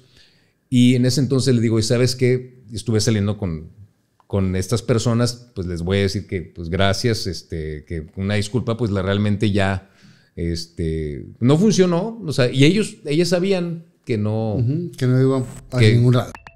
Arella Viviendas es una empresa regiomontana dedicada a transformar la calidad de vida de tu familia, creando comunidades que generan deseo de pertenencia. Contamos con el respaldo corporativo de 70 años de experiencia en el sector industrial y desde entonces, como hasta ahora, nos preocupamos por generar bienestar para tu familia. Arella Viviendas, donde tus sueños se hacen realidad. Y a partir de ahí empezamos a construir una, una relación que, pues bueno, pues ya lleva 23 años hasta ahora, de los cuales 20 cachitos son de casados. Entonces, pues, ¿qué te puedo decir? Eh, ¿Te conviertes o se convierten en papás jóvenes? Sí, sí, este, a los dos años y medio de ser novios, este, pues resulta que venía un, este, regalito en camino. Eh, no estábamos preparados, obviamente. Entonces tuvimos que prepararnos para ello. Un día me la voy a ver y me dice, oye, tenemos que hablar contigo. No, sale de su casa, me, acuerdo que fue su frase, y la abracé y le dije, no te preocupes, lo que necesite ese niño nunca le va a faltar. Y es fecha que he cumplido mi palabra. Nunca le ha faltado nada a ese niño, ni a los otros dos que llegaron después. Yo, eh, como papá, digo, no sé si soy bueno o no, pero toda mi vida me he dedicado a que no les falte nada. ¿A qué me refiero? Desde educación, amor, eh, no solamente, no es nada más de que darles techo, darles comida, no, es darles atención, entenderlos. Sí, la manutención es una cosa y la parte eh, del corazón y del guiarles otra. Es otra. Entonces, desde ese momento, ¿no? Y, adoro a mis hijos y los, es fecha que... ¿Tú tienes qué edad? Yo tenía 25, ella tenía 21. O sea, estaba muy chavita. Súper, súper. Y, estabas tú encarrilado por otro lado y la vida te da una responsabilidad y tienes que, poner a chambear de manera diferente. una cosa es chambear para comprar tus discos y tus, playeras, y tus playeras rockeras. Muy diferente. A ahora tengo que comprar pañales, eh, biberones y, casa. Exacto. De un ¿A dónde se fueron a vivir? Fíjate, primero estuvimos un tiempo eh, en casa de mamá los primeros meses, ahí nació mi hijo, porque pues obviamente llegó todo de sorpresa. Entonces yo llevaba hasta ese momento pues ya como una vida de soltero, de que ya tenía mi carro, ya tenía mis cosas, me compré mi estéreo, me compré mi tele, o sea, empezaba como que a construir mi vida no de soltero y ahorré una lana para irme a Europa. Y este, con esa lana me casé. con esa lana me casé. Hay prioridades. Hay prioridades, ¿no? Y con esa lana me casé y la lana que siguió después fue para recibir a mi hijo. Y este, y Siendo una pareja eh, tan, iguales y viendo tus gustos musicales, de películas, de esto, ¿cómo fue su boda? Tuvo que haber sido original. Bueno, en mi boda toqué eh, con, con, mi grupo. Tocamos rolas de una rola de Creedence, una rola de Queen, este, una rola de ACDC. Este, estuvo padre, hicimos un video también, que la verdad hoy el video me da un poco de pena, pero hicimos un video así como que de nuestra época, de nuestros primeros años y luego ya el momento que nos conocimos. Y aunque fue, fue un momento bonito, pero realmente fue muy apresurado. Mucha gente nos, nos apoyó en ese momento, mucha gente no nos apoyó también, mucha gente nos dio la espalda. Cuando te casas tan joven, te das cuenta quiénes son tus amigos realmente. ¿Por qué? Porque tus amigos reales van y te buscan y te llevan pañales y te ayudan y saben que te vamos a apoyar y hay unos que te, dan la espalda. O sea, yo, oye, ¿por qué, cabrón? O sea, fuiste mi amigo toda la vida y de repente ya al día siguiente no me hablas o whatever. Y fue una, una situación muy complicada. Ahí nos dimos cuenta realmente quiénes eran nuestras amistades. Eh, ahí, ¿Qué decían tus papás? ¿Ya vivía tu papá todavía? Papá vivía todavía. Papá eh, falleció hace 10 años, pero a él le tocó todo el proceso. Eh, le costó trabajo, le costó trabajo, sí se molestó, cuando vio a mi hijo. Cambió todo. Cambió todo. Y, mi hijo lo, lo volvió loco, totalmente. Fer, o sea, digo, también quiso mucho a mis otros dos hijos, pero Fer fue así como que. No, su adoración. Y tu mamá me imagino también. No, mamá. el hijo del tesorito. No, imagínate los Little Treasures, ¿no? fue una cosa maravillosa.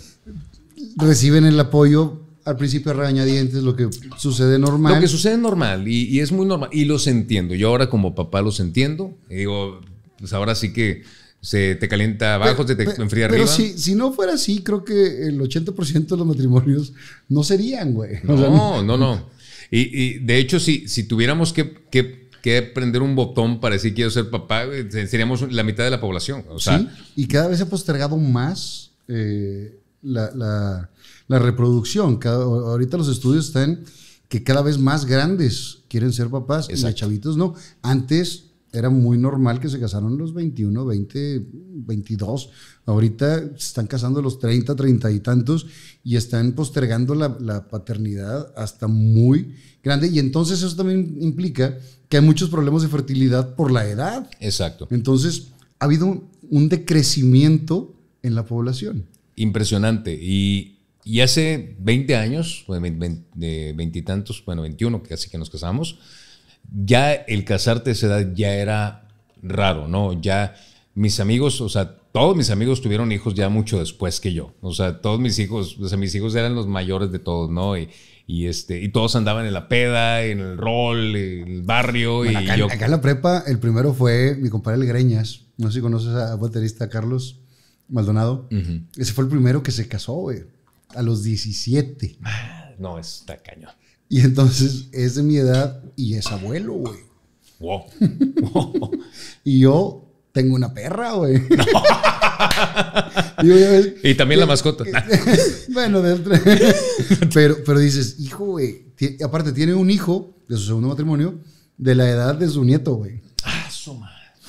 Pero pues cada quien, ¿verdad? Y, mm. y, el chiste en esta vida, creo que no hay reglas así como exactas. El chiste es ser feliz, güey.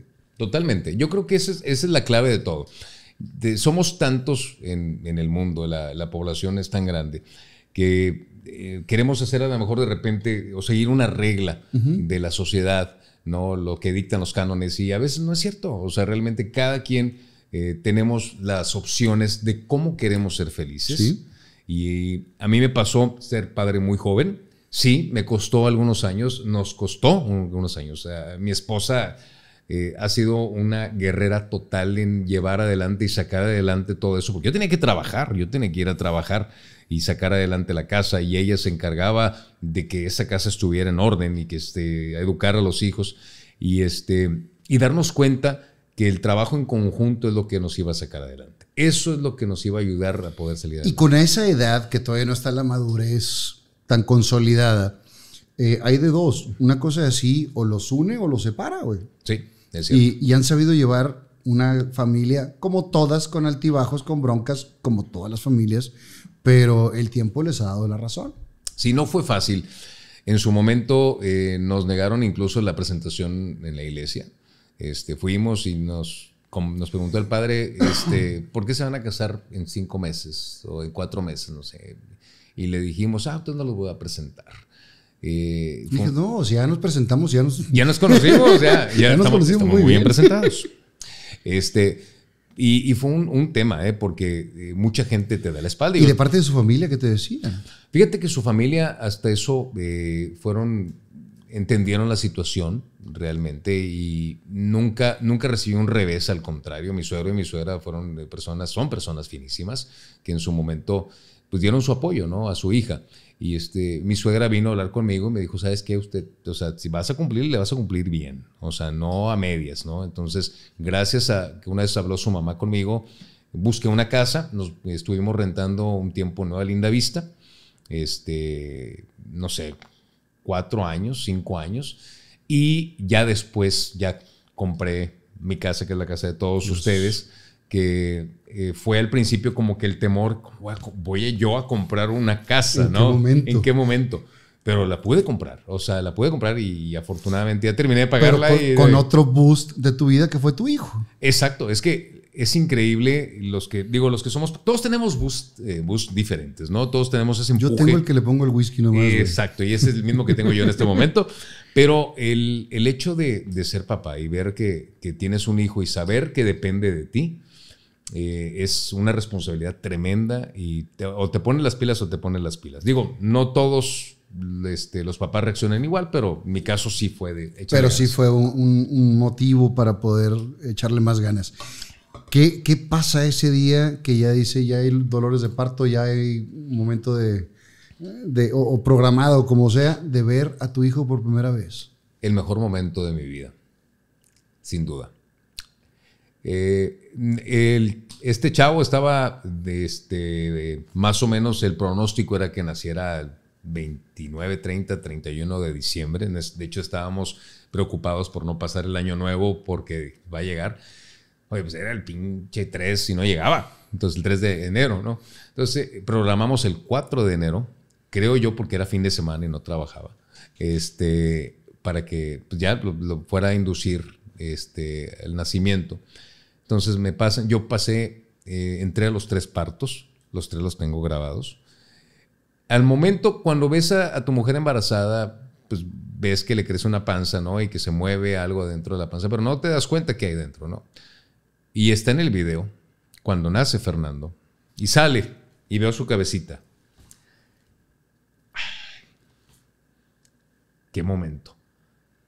Me acuerdo que mi única palabra fue yes. O sea, es un niño y es mío.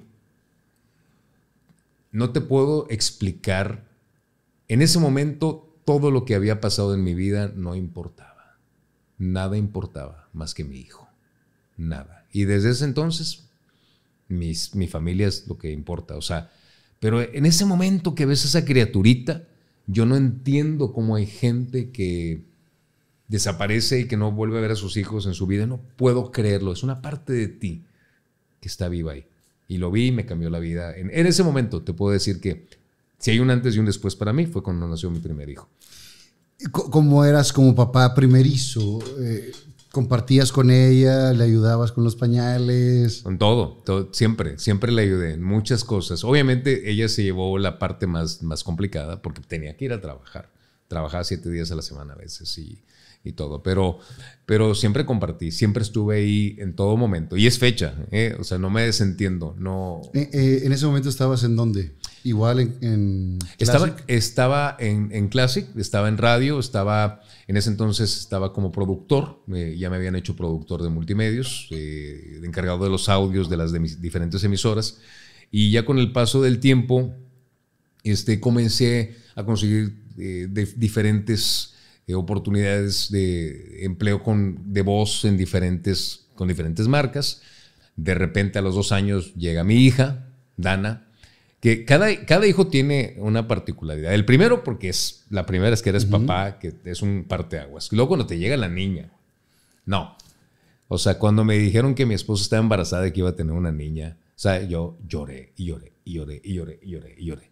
O sea, voy a tener una niña, güey. ¿no? Cuando nació, no tienes idea, o sea, mi niña hermosa, o sea, eh, no. y, se dice que es, que es cruzado, que, que, las niñas son muy apegadas con el papá y los niños con la mamá. Y los niños con la mamá, sí, porque Fer se fue muy pegado con su mamá. Y aparte las niñas son bien cariñosas. con los novios, güey. Lamentablemente. Dios te cuide. no, ya, ya, ya, ya hay algo de eso.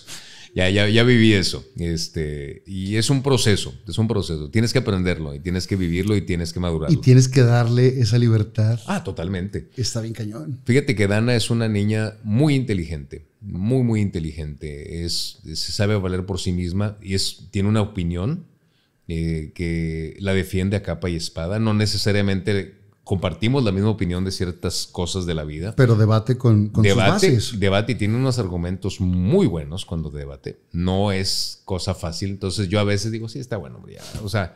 Ya sé qué rumbo va laboralmente. sí. ¿Qué le gusta? Ella, ella le encanta la comunicación. Ella quiere ser directora de cine.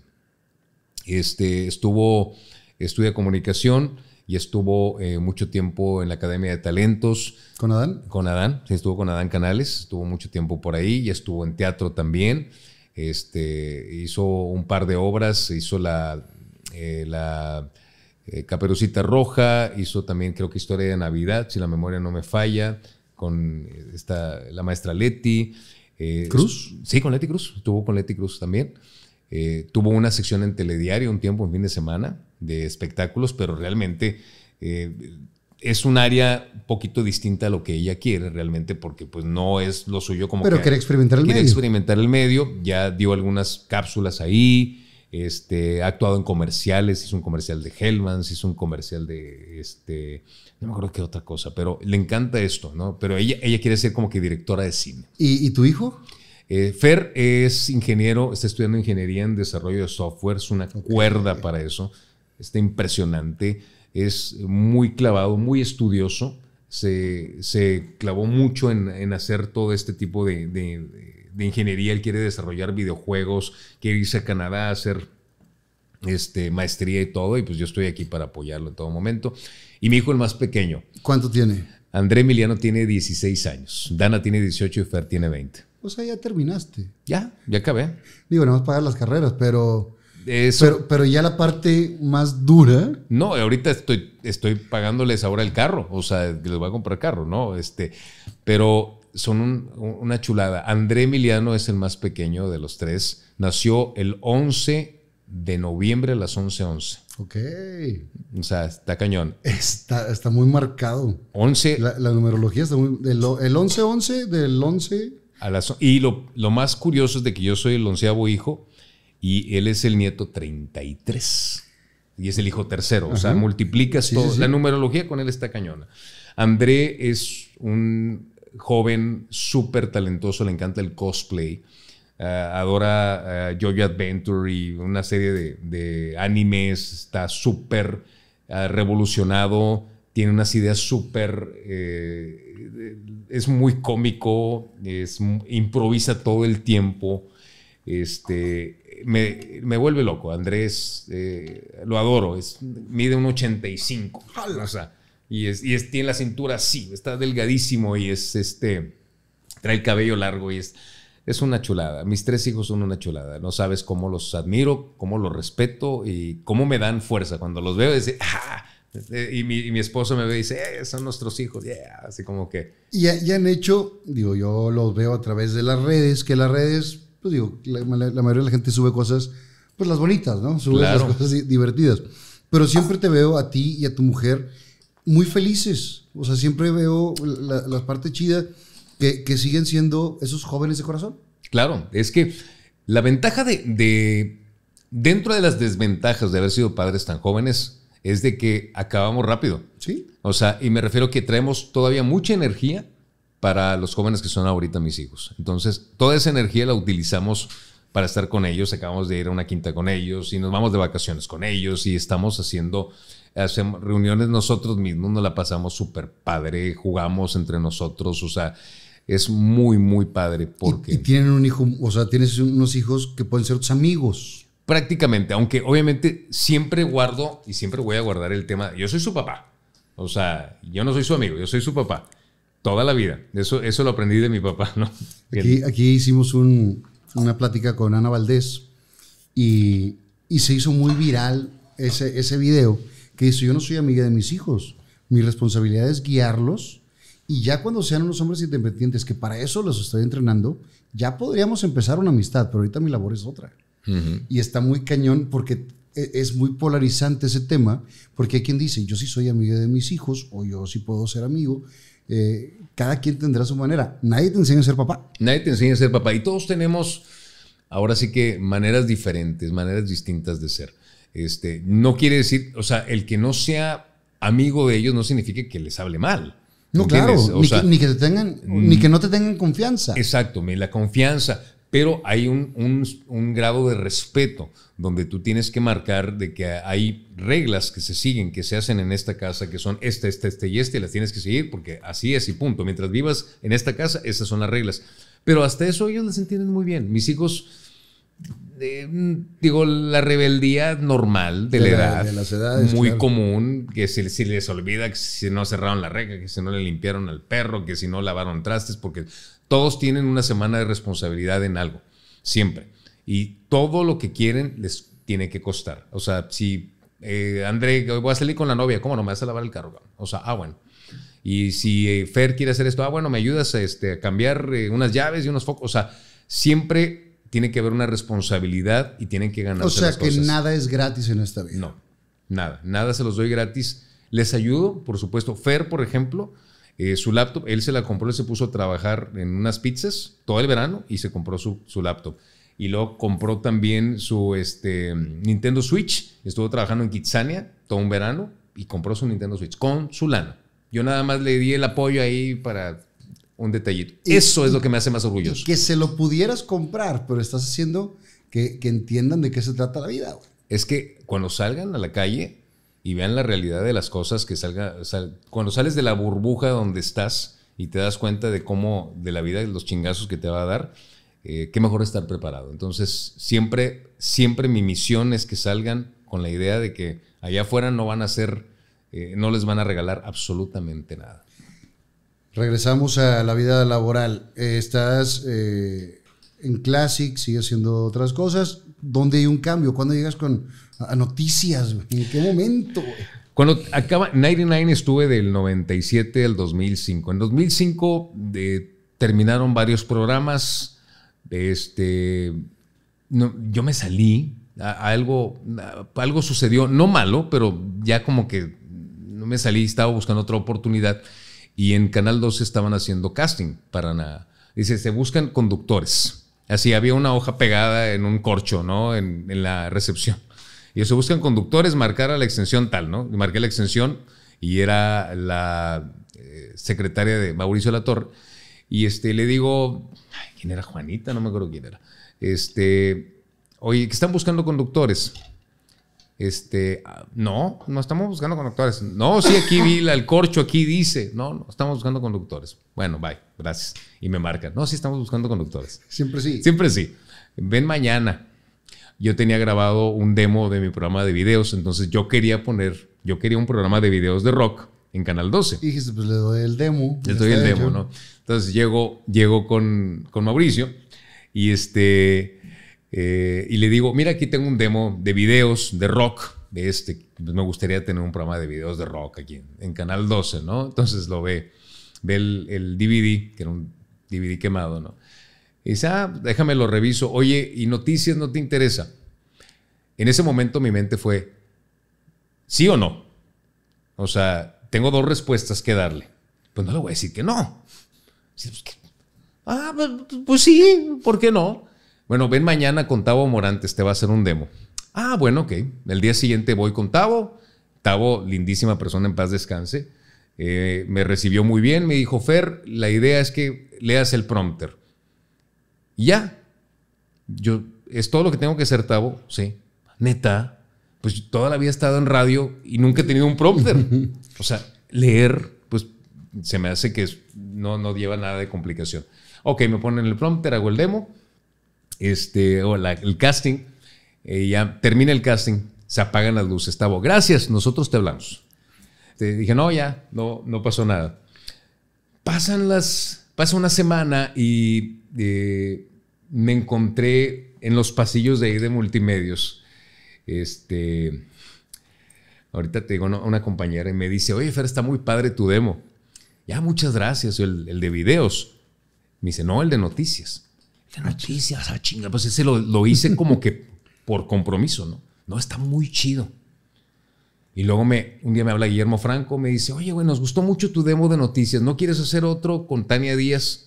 Yo, Tania también está buscando, sí, Tania también, ok, bueno. ¿Tania venía de, qué estación? También estaba en 169 y también había hecho lo mismo que yo. Nos hacen un demo los dos, este, padrísimo, ¿no? Típico, terminas el demo, se apagan las luces, gracias, nosotros les hablamos. Ya, eso no llegó a nada. Este, yo en ese entonces estaba coordinando la producción de radio, tenía una oficinita y estaba en la oficinita haciendo promos, teníamos un sistema de audio, de edición de audio. Pasa Guillermo Franco. Güey, con quedó con madre el demo. Chingón. Entras el sábado al aire. Nos vemos, güey. Y se va. ¿Qué? ¿Qué? ¿Cómo que entro el sábado al aire?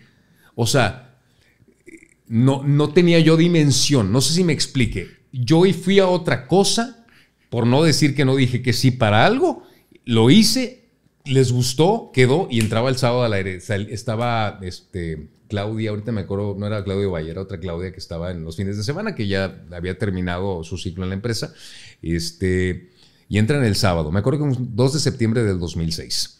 Ese día había una convención de multimedios en Bahía Escondida, donde se iban a ir todos los vendedores y todo, y teníamos que ir la gente de radio también. Entonces, le dije a mi jefe de ese entonces, oye, voy a llegar tarde a la convención porque, tengo, porque tengo, tengo algo que hacer el sábado en la mañana.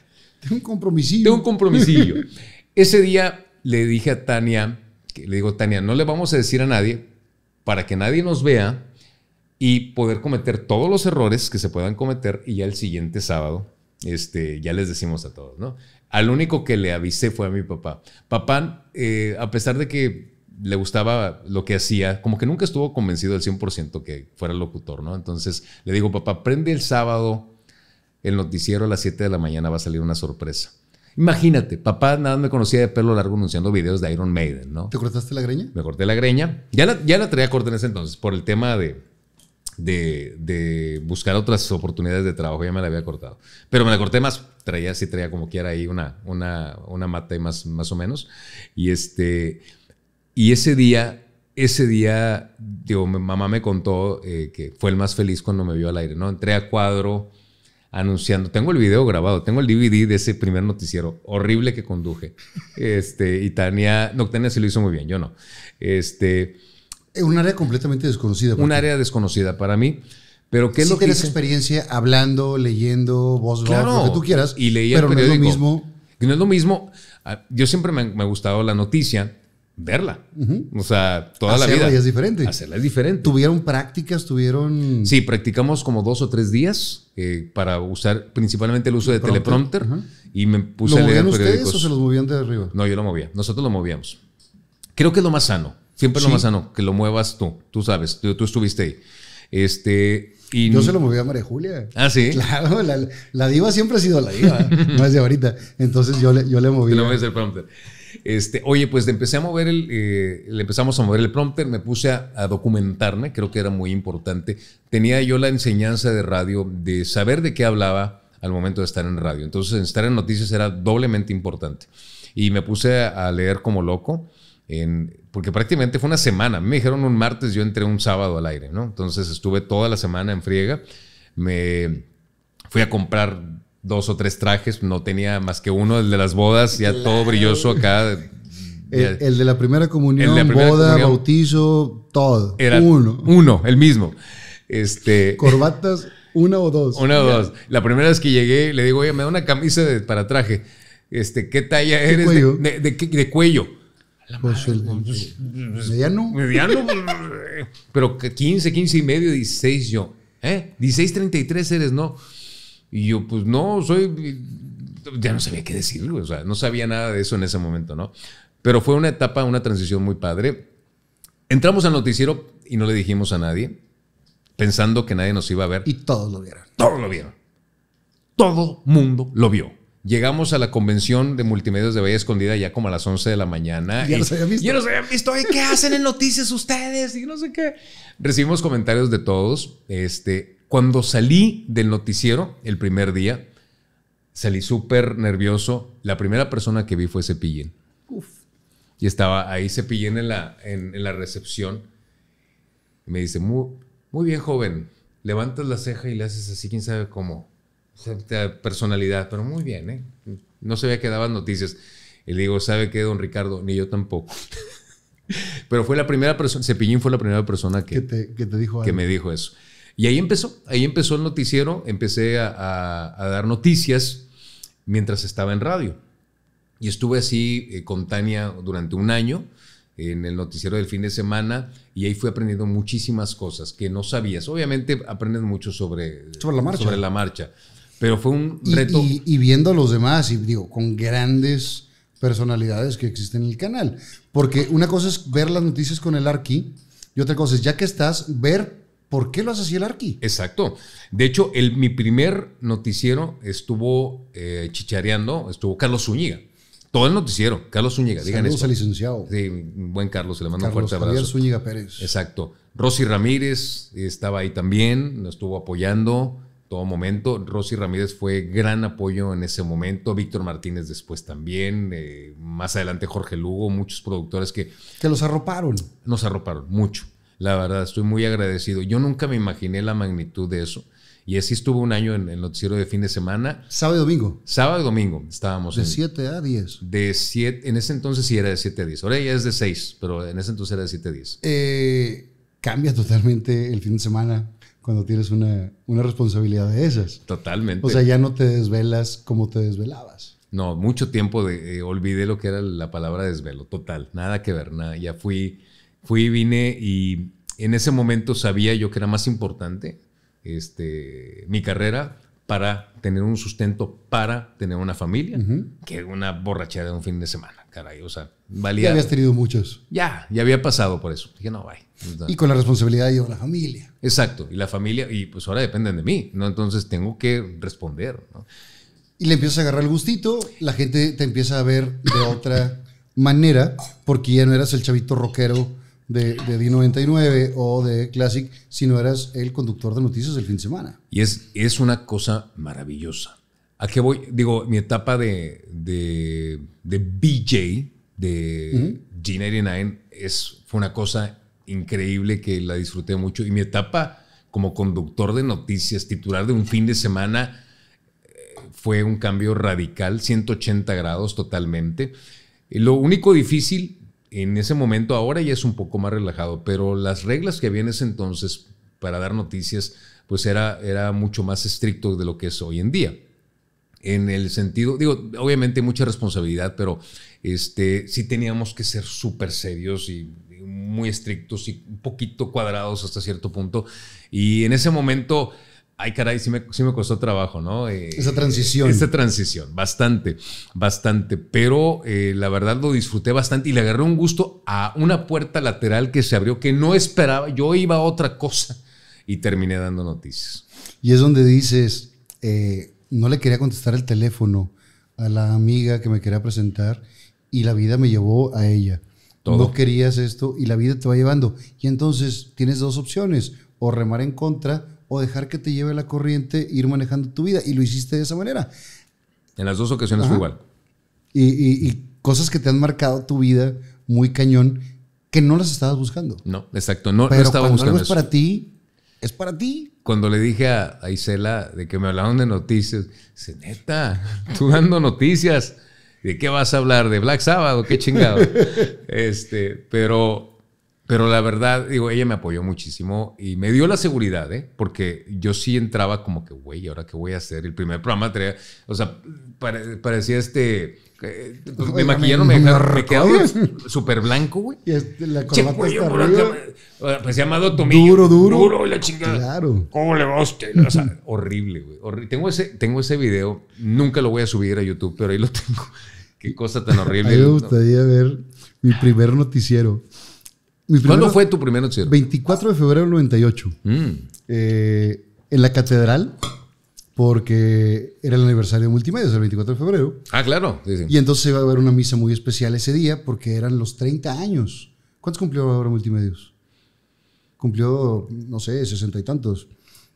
O cincuenta y tantos. Ese día cumplía 30 o 40 años y era un cambio radical de la parte de noticias.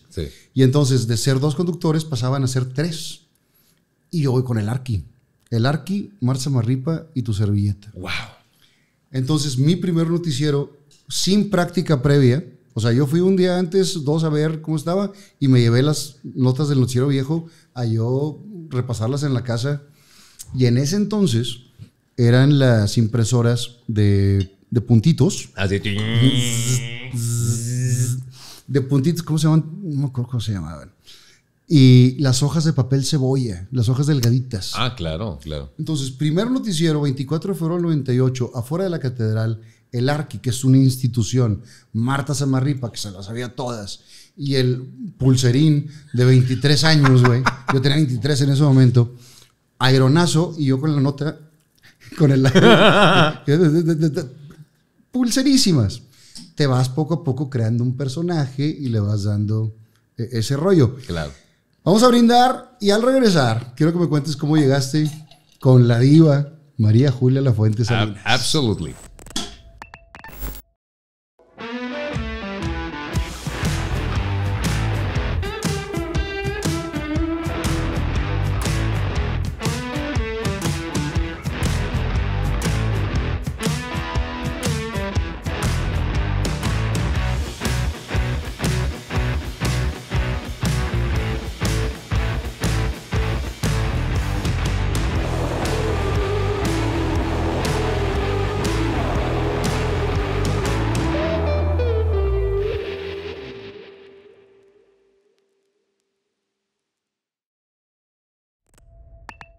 Ahora sí toca yo. Salud. Lo que hemos, un común denominador tuyo y mío. El común denominador. Somos parte del multiverso María Juliesco. ¿Viste la foto? No, viste no, no vi la foto. Ah, sí, de, Twitter. pusieron una foto. Que, estaba Luis Carlos, estaba yo y pusieron a Carlos Zúñiga. Y, y ponen, nada más falta Fer Núñez para poner todo el, multiverso. El multiverso, ¿eh? El multiverso María Juliesco estaría muy chido. ¿Cómo llegas al noticiero de María Julia? Fíjate que... Eh, de la licenciada María Julia, perdón. Exactamente. Fue una cosa también que, como el caso del telediario eh, de fin de semana, este, estando en telediario fin de semana, en una ocasión me llama, creo que fue el licenciado de, La Luz Lozano, y me dice, están haciendo casting eh, para el telediario Mediodía porque Rogelio Larcón, era quien estaba en ese entonces, va a salir para otros proyectos, ¿no? ¿No te gustaría hacer un casting? Igual que el... ¿Cuánto tiempo estuvo Rogelio? Ah, Rogelio no sé, ya tenía un ratito ahí, pero, pero no, no sé si dos, tres años tuvo Rogelio Larcón. Rogelio Larcón era el, conductor en ese momento.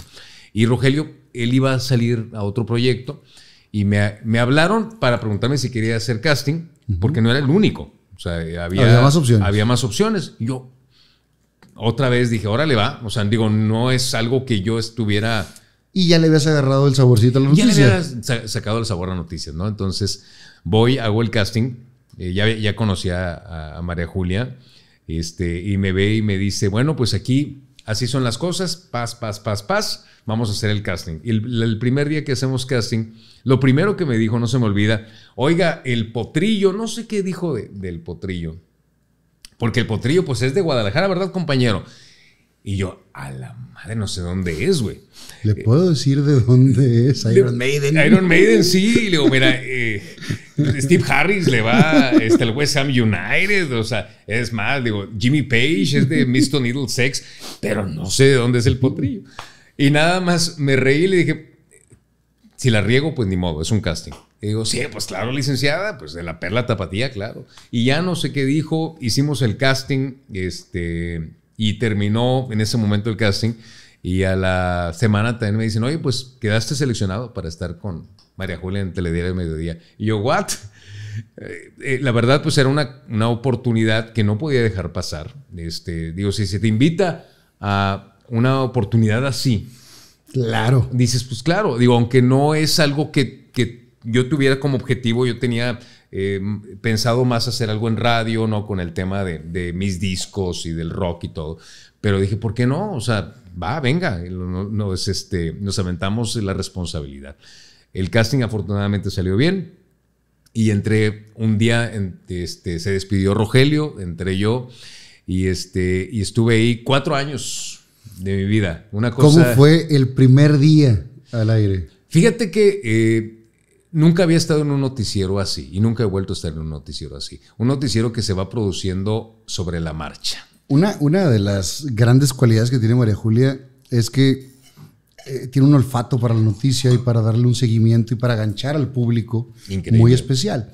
Y entonces va haciendo una producción al aire y ella va dirigiendo y llevando junto con, con el equipo y es impresionante lo que hace porque los números lo dicen. Los números lo dicen y nadie ha podido jamás en todos estos años tumbar esos números. Porque eh, ese noticiero, yo que venía del fin de semana y que me, había tocado cubrir otros espacios, otros turnos, nunca había visto un noticiero donde la conducción todo el tiempo, a ver, consígueme al director de no sé dónde, y esto, y lo otro, ahorita, ya, pum, vamos al aire, pum, regañaba. O sea, que alguien regañe al gobernador al aire y le diga lo que le dijo. Nada más María Julia. Nada más María Julia, ¿no? Entonces, eh, ahí aprendí muchísimo de eso. Eh, aprendí a trabajar, número uno, con una disciplina increíble, el, saber qué responder. ¿Cómo traías el pelo? Pero ya lo traía súper corto. En ese entonces ya. Qué bueno. No, súper corto. De hecho, yo tengo un remolino aquí, entonces se me hacía así un. Como que. Un penacho. Así, un penacho. Este. Eh, y, y era un problema porque yo nunca traigo el cabello súper corto por lo mismo, que traigo ese remolino este, y se me hace acá el, copetazo por, por, acá. Y este, pero sí lo traía súper corto y siempre engelado y todo porque batallaba mucho con eso. Por eso siempre traía mucho gel porque este, traía ese problema. Pero nunca me había tocado estar en un noticiero que estuviera tan acelerado eh, con la producción al aire, todo en ese momento.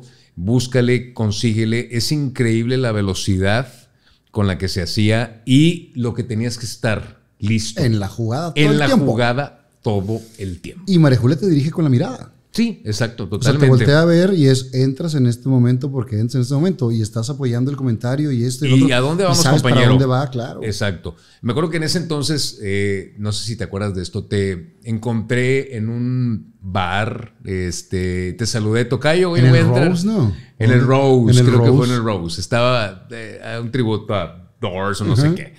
¿Y qué van a tocar? Yo, oye, voy a entrar al telediario y me acuerdo que me dijiste. Te voy a, decir, el mejor consejo que te puedo dar. Sí, licenciado. me dijiste eso. Y yo, sí, licenciado. Sí, nada más di eso, Tocayo. No digas otra cosa. Para todo, sí, licenciado. Sí, licenciado. Y lo mismo le dije el día que firmé en el acta, porque fui testigo en la boda de, María Julia. Lo mismo le dije a Daniel, a su marido, al ingeniero Daniel Peña. Le dije, si no quieres tener problemas, tú di, sí, licenciada. y ya. Y el tiempo ha dado la razón. El tiempo ha dado la razón. Sí, y este. Y la verdad fue una oportunidad grandísima. Yo en ese momento no sabía la magnitud, o no sabía a dónde me estaba metiendo. O sea, que voy, en que al momento de entrar a ese noticiero, de, eh, salí un lunes en el noticiero el fin de semana, pues salgo con mi familia, ¿no? Ya no estaba el telediario el fin de semana y ahora sí tenía el fin de semana para salir. Salgo el fin de semana y, le digo a mi mujer, ¿por qué todos me ven? o sea, no, no, no sabía o no entendía la magnitud.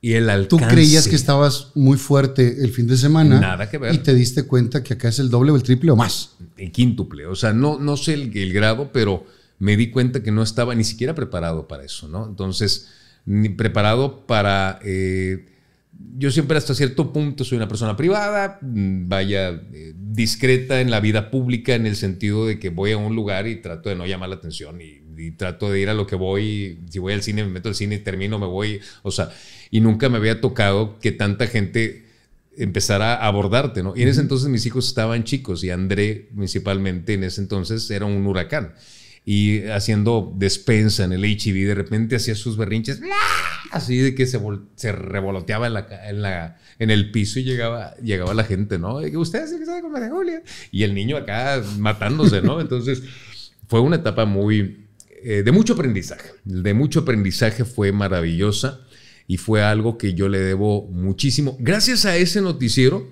eh, me di a conocer en muchos lugares. De, gracias a eso me dio un trampolín para ser el conductor del sorteo TEC ahorita.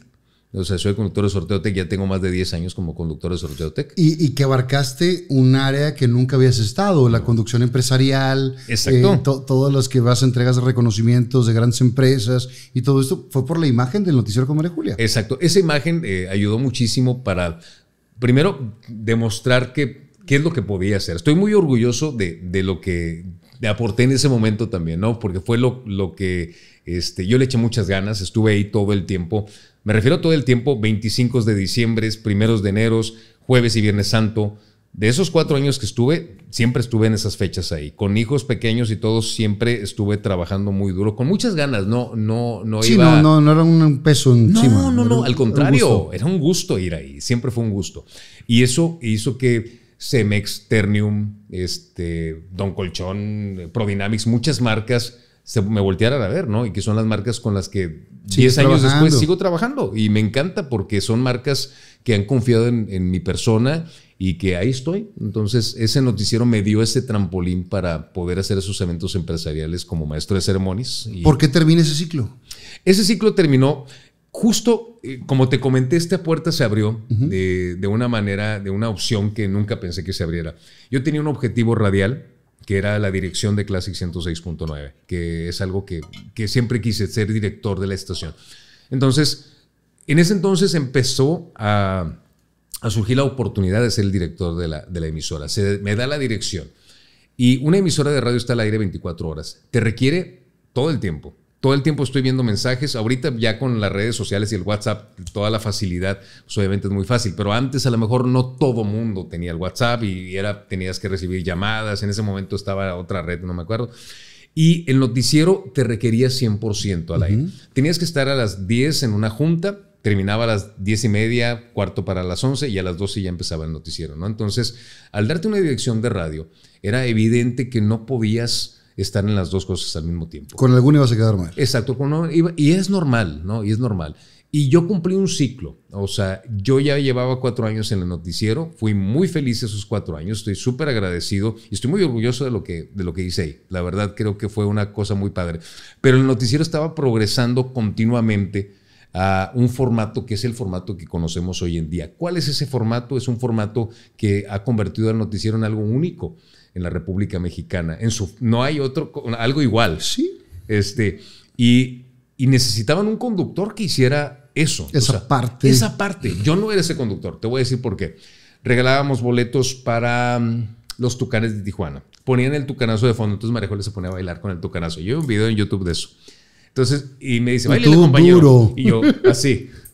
No, no se me da ese tipo. La parte del show. La parte del show no se me da. En ese sentido no se me da.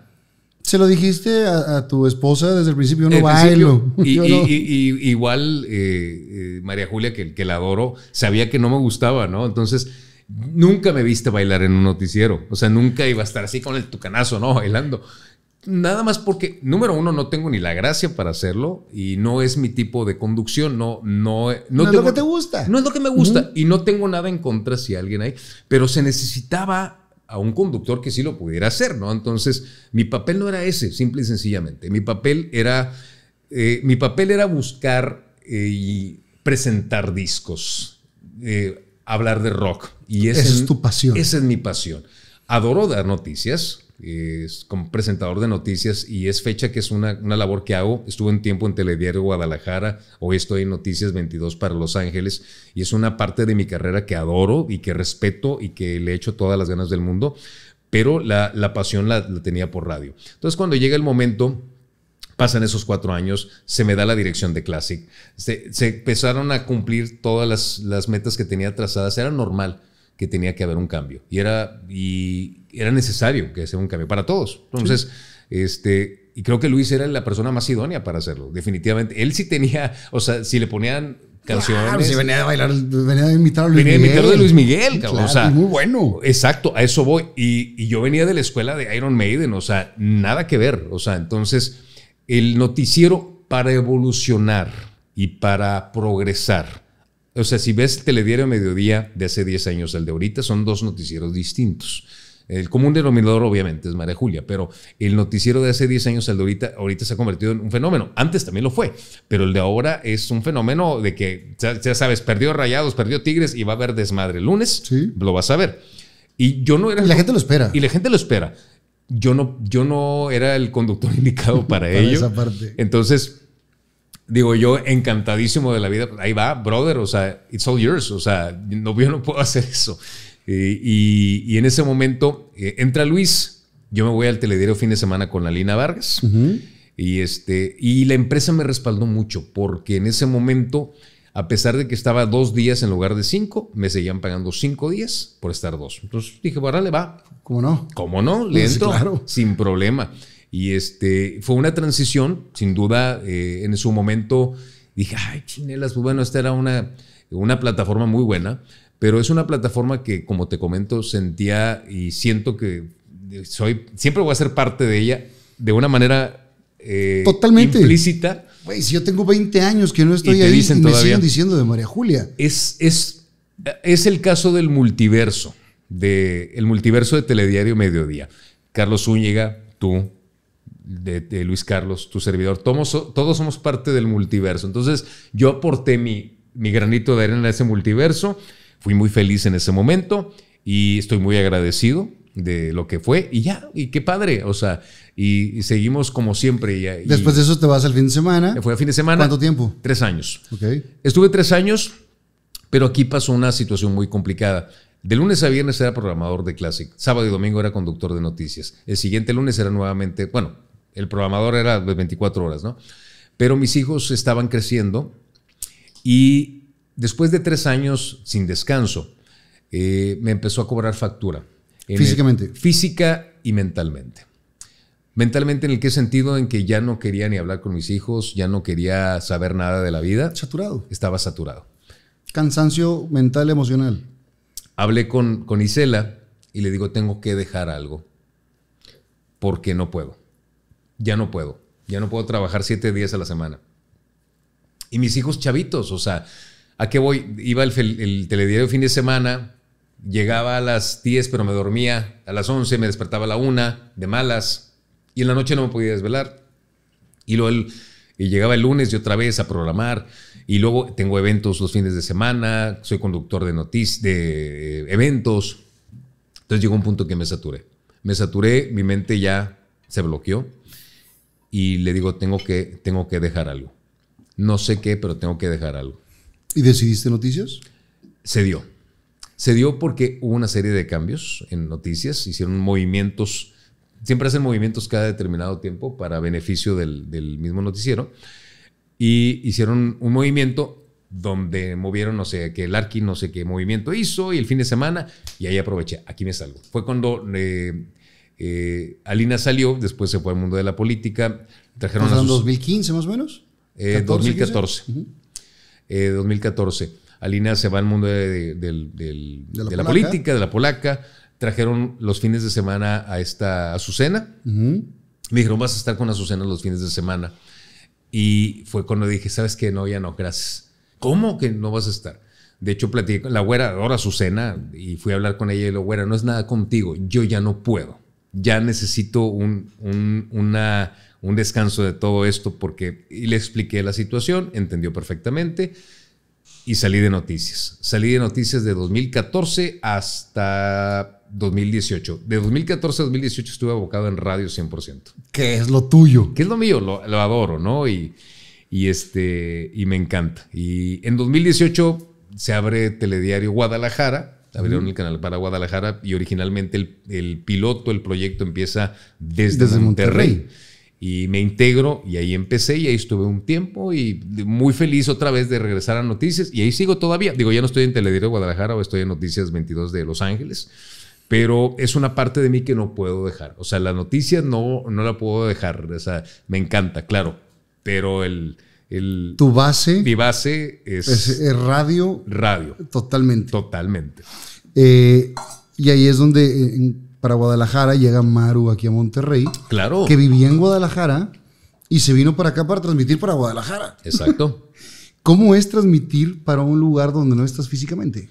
Fíjate que lo más e, e, es un aprendizaje muy constante porque todos, o sea, a pesar de que tú físicamente estás aquí, los reporteros están allá, los editores están allá. Y tienes que hablar de allá de las calles, de todo, como si estuvieras ahí. Exacto. Entonces, íbamos a notas y pasó algo en Villa Fontana Aqua.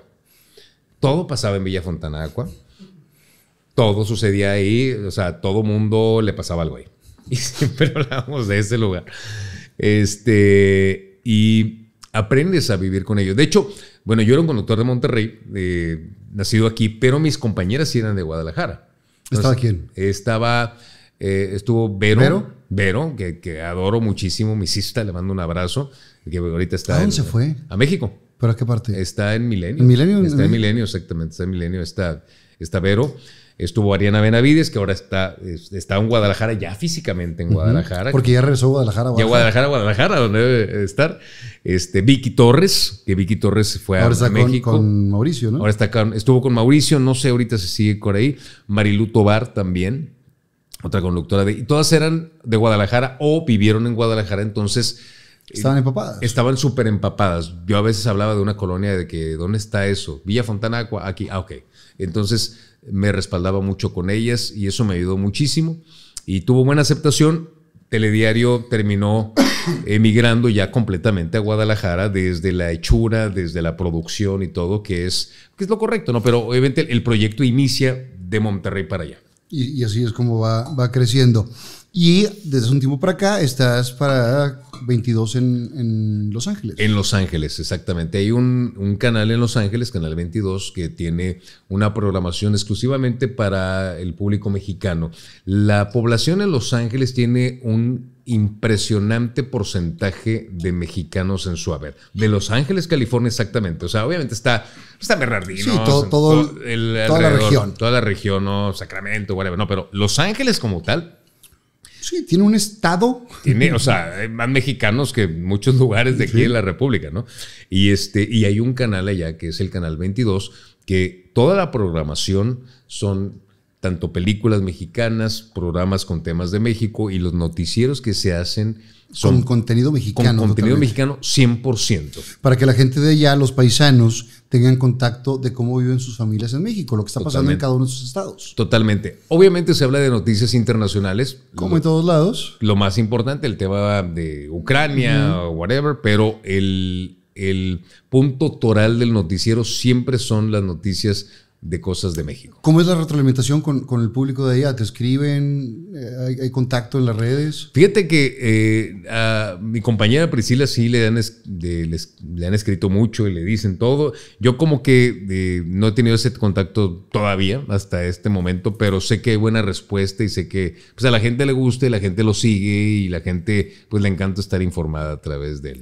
En todo ese tiempo que has estado en noticias, desde el fin de semana con Tania, después con la licenciada María Julia, después en Guadalajara, ahora en Los Ángeles, ¿cuál ha sido la noticia que más te ha impactado?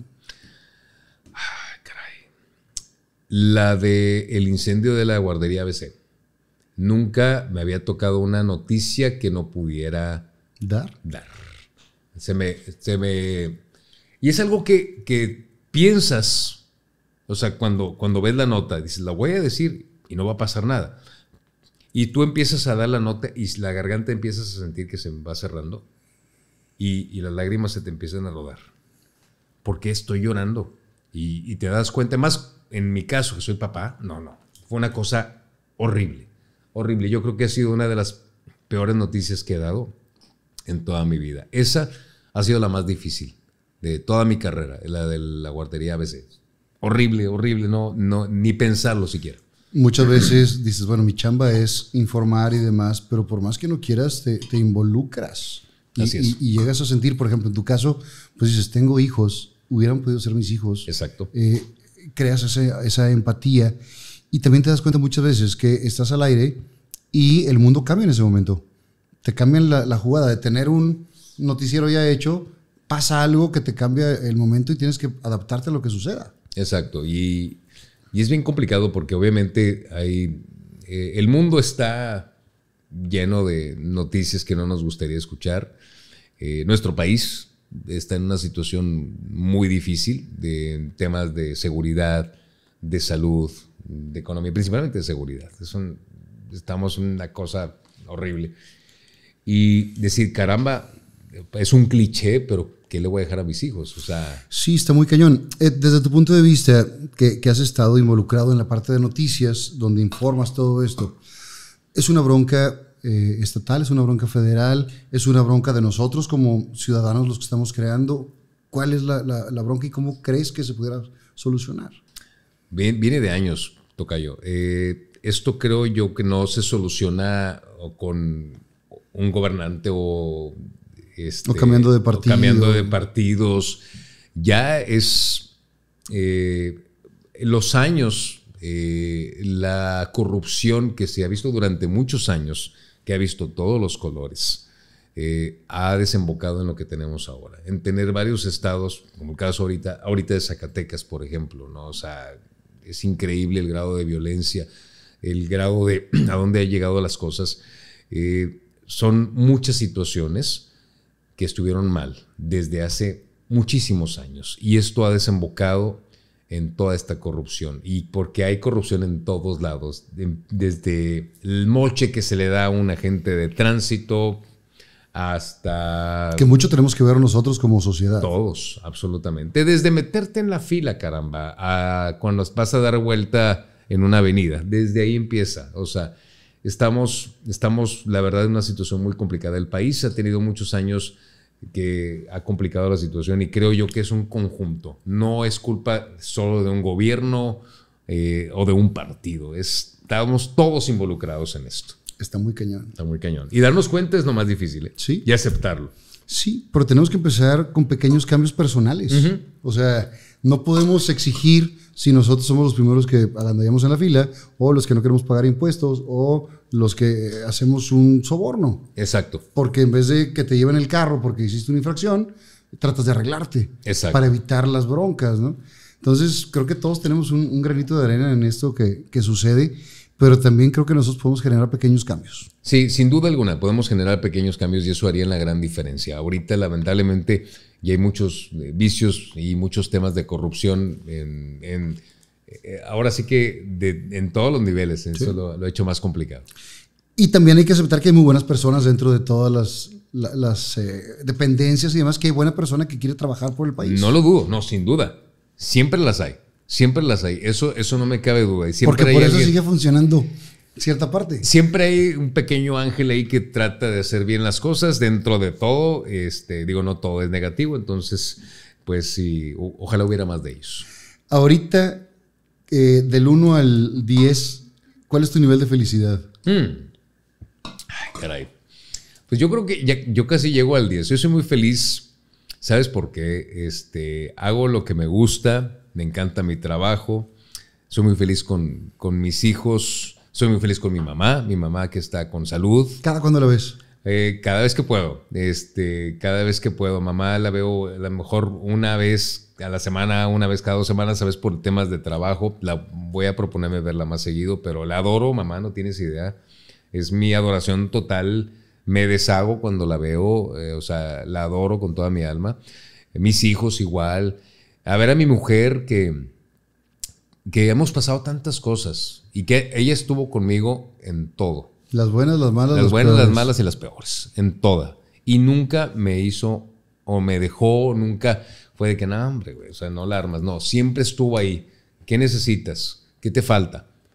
Eh, en días que llegó, ¿sabes qué? Es que hoy me fue de la fregada en el trabajo por esto, esto y esto. Y ella, ella defiende mucho a su familia. Ella es una guerrera que le debo mucho, si no es que todo lo que, lo que he hecho hasta ahora, porque no lo hubiera podido hacer sin ella. O sea, es un sostén en tu vida. Totalmente. Y se adaptó a, mi vida bien cañón. O sea, cuando yo la conocí, ella era, o sea, y sigue siendo, ¿no? Es una mujer maravillosa. Y este, y no sé, pues escuchaba Alejandro Fernández, Alejandro Sanz, muy tierna ella, ¿no? Este, todo esto, Ricardo Arjona y todo. Me conoció y le digo, a mí me gusta esto y esto y esto, y pues bueno, tú escuchas la música que tú quieras, yo no te voy a... Menos Arjona. Menos Arjona. No, hasta eso, la verdad, no tengo problema yo con ningún género, siempre y cuando cada quien respete lo suyo, ¿no? Y, este, y ella se fue incorporando lo mío. Le digo, oye, voy a ver a Iron Maiden. Ah, yo voy contigo. Segura, sí. Y llega y canta las canciones conmigo y, y que no, oye, mira, oye, Steve Harris, ¿cómo le... Yo, ¿cómo te sabes el nombre? O sea... Pues te escucha todo el tiempo, güey. Escucha todo el tiempo. Y como nada más hablo de eso, mi vida es eso. Entonces se adaptó y se hizo mi llamada partner in crime. Entonces, y mis hijos, aunque no son, o sea, les gusta parte de lo que me gusta a mí de la música, pero es, ellos están en otro rollo. ¿Qué, ¿Qué, escuchan tus hijos? Fíjate que tienen gustos muy distintos. Sí conocen todo lo que yo escucho, pero no necesariamente la música es su punto. Eh, su pasión. Su pasión, exactamente. Mi hijo mayor, su pasión son la de la tecnología. Mi hija se aboca más con te digo, con el cine, ella le gusta mucho la, parte artística. La parte artística. Mi hijo, el menor, con el tema de los cosplays y todo eso. Entonces, me echan más bien carro, ¿no? De que ya pediste otro disco, papá. O sea, en lugar de pagarnos la carrera, nos estás pidiendo más discos. Entonces, tenemos una relación muy padre y yo nunca jamás les voy a imponer nada, al contrario. Y mi mujer me sigue eh, el cuento en todos lados, ¿no? Entonces, eso es lo que más me puede agradar. ¿Cómo te ves en 20 años? Este ganando mucho más y trabajando mucho menos. eso no tienes que esperarte tanto. No, espero que, espero que eh, en, unos meses pase eso. Pero en tu mundo ideal, eh, digo, ya despachando a los hijos, ya casados, ya todo. En mi mundo ideal, ahí te va, muy fácil. Ah, eh, mi hijo mayor, Afer, estando en Canadá como CEO de una empresa de tecnología, a mi hija siendo directora de cine, haciendo lo que ella quiere. Ganando Óscares. Ganando Óscares y todo. A mi hijo, el menor, siendo también una estrella eh, total en lo que él se vaya a dedicar, todavía está definiendo ese camino. Y yo viajando con el mundo con mi mujer. Viajando por todo el mundo. Viendo conciertos. Yendo a conciertos, disfrutando de la música y siendo feliz. ¿El mejor concierto que haya sido en tu vida? Hay muchísimos, Tocayo. Hay muchísimos. No sabes cuántas veces he ido a un concierto y he disfrutado. Este, ay, caray, es una muy buena pregunta, pero una vez que eh, hay, un concierto en particular que vino Iron Maiden aquí a Monterrey en el 96 y luego regresó en el 98. Eh, en el 98 hizo un concierto en el eh, desaparecido auditorio de Coca-Cola, que ahora es el auditorio Banamex. Este, Iron Maiden tiene una canción que se llama Heaven Can Wait, donde en el, hay un coro de la canción donde suben a gente del público, ¿no? En esa ocasión, en esa gira del 98, me tocó entrevistarlos en, G99 y estar en el meet and greet que hicieron previo al concierto. Estaba en el meet and greet, llega eh, una de las promotoras del concierto, estaba yo con un buen amigo, Manolo, y este, que fuimos al meet and greet de Iron Maiden para que nos tomaran unos discos, ¿no? Y me dice, oye Fer, este, necesito gente que se suba a cantar con Iron Maiden. ¿No traes tiempo? Oh. Pero, güey, o sea, yo dejo de hacer lo que tenga que hacer. ¿Cómo no? Espérame. Y sacado dos pases, singing pass o no sé cómo se llama. No, me lo pone aquí y le, puso otro a Manolo y yo, vamos a subirnos en la rola. Y nos subimos a cantar con Iron Maiden. En pleno concierto. Heaven Can Wait, estamos eh, hay una, parte que, una parte que va, oh, oh, y estábamos todos ahí, y ver el auditorio lleno, cantando yo, ahí tengo todo el, el, el, el, pass. El pass. Es una cosa maravillosa. Yo creo que ese concierto, por eso lo disfruté bastante. Eh, hay muchos conciertos que he disfrutado muchísimo. Entrevisté una vez a Judas Priest, vino a Monterrey y este, los entrevisté y en la noche los fui a ver al concierto. Entonces en el concierto, Glenn Tipton, que es el guitarrista de la banda, estaba y me ve Y, en pleno concierto aventó un riff, me hace así. Güey, o sea, a lo mejor es algo muy simple, muy tonto. Claro, pero para mí te marca la vida. Me marca la vida. Sí. Güey, Glenn Tipton en pleno concierto me dice Manolo, me habla, te hablan, güey, Glenn Tipton con madre. Este es son dos conciertos que me han marcado, me han marcado muchísimo. Yo creo Iron Maiden y Judas Priest. Eh, ¿Te quedaste con ganas de ver a quién? ¿A Doors? Ah, bueno, Doors es que se separaron cuando ni nacía. De Led Zeppelin también me hubiera Gustado verlo. Me hubiera gustado ver a Doors, a Led Zeppelin. Me quedé con ganas de ver a Van Halen. Van Halen nunca lo vi y se reunieron en el 2012. Se presentaron en San Antonio, si la memoria no me falla, fue un 12 de diciembre. Este, y no pude ir porque se me venció la visa. Es me dio un chorro de coraje. Este, me quedé con ganas de ver a Van Halen a Jimmy Page y Robert Plant, que son el guitarrista y el vocalista de Led Zeppelin en el 95 en la Ciudad de México. Tenía exámenes en la facultad, no pude ir este, y me arrepiento todos los días de mi vida de no haber ido. ¿Y cuál es, el, cuál es la siguiente meta? A ver a quién. La siguiente, muy buena pregunta. Eh, voy a... Este, ¿Ya compraste tu boleto para BTS? Ya, ya lo tengo. Ya lo tengo, por supuesto. ya, ya tengo mi primera fila para ver a BTS. Con meet and greet y Con todo. meet and greet y todo, y toda la colección. Este, mi siguiente meta, ya tengo mi boleto para ir al, crucero de Kiss, el Kiss Cruise. Hace un par de años fui al Kiss Cruise con, mi esposa, nunca había ido uno y fue la mejor experiencia del mundo. Este es el último Kiss Cruise con la banda, porque el grupo toca en, el crucero. Este, y ya tenemos nuestro boleto, entonces ya, ya estamos listos. Qué nada. En octubre. Tocayo, digo, le puedo seguir mucho tiempo, pero alguien tiene que dormir en algún momento. wow, no sé qué llevamos tanto tiempo ya. Hay una sección que tengo aquí que están las preguntas ya hechas, diferente tipo de preguntas, y, aquí sí, pues la que salga, ¿verdad? Claro. Y aquí no hay manera de ni de truquear, ni de llevar, ni nada por el estilo. Entonces vamos a ver qué sale. Una para ti, una para mí, una para los dos. Ajá. Y que sea lo que Dios quiera. Lo que Dios quiera. Pártela, por favor. Con todo gusto. Y hay jokers también. Ajá. Si me sale un joker aquí a mí, te puedo preguntar lo que tú quieras. O sea, lo que yo quiera. Si te sale aquí, lo que tú quieras, me preguntas a mí. Va, órale. Y aquí en medio, para los dos. Sin bronca. ¿Cómo, quién, quién agarra carta primero? Ahí te va. Una para ti, una para mí, una para los dos. Órale, va. Dice, ¿qué opinas de la iglesia como institución? Oh. se enoja el padrecito, el padre Juanjo se va a enojar. Eh, creo que como todas las instituciones está tocada por el hombre y cuando está tocada por el hombre, lo que mencionabas ahorita, puede haber corrupción. Esa es, la, bronca que, que tengo. Esta es la mía. ¿Te consideras una persona egocéntrica y por qué?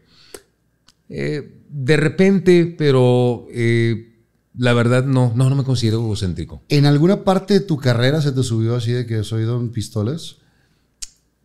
Tal vez algún punto, pero ¿sabes qué? E, esto es tan efímero, tan. Eso es salir en la tele. Pero explícaselo a la gente que se le sube, güey. Exacto. No, o sea, ¿a qué voy? Es un trabajo, o sea, eh, mi ego más inseguro que cualquier otro trabajo. Es el trabajo más inseguro que hay. Este, un día estás y el día siguiente te dan las gracias y, ¿Y adiós y te olvida. O la gente, el público te olvida si no dejas algo.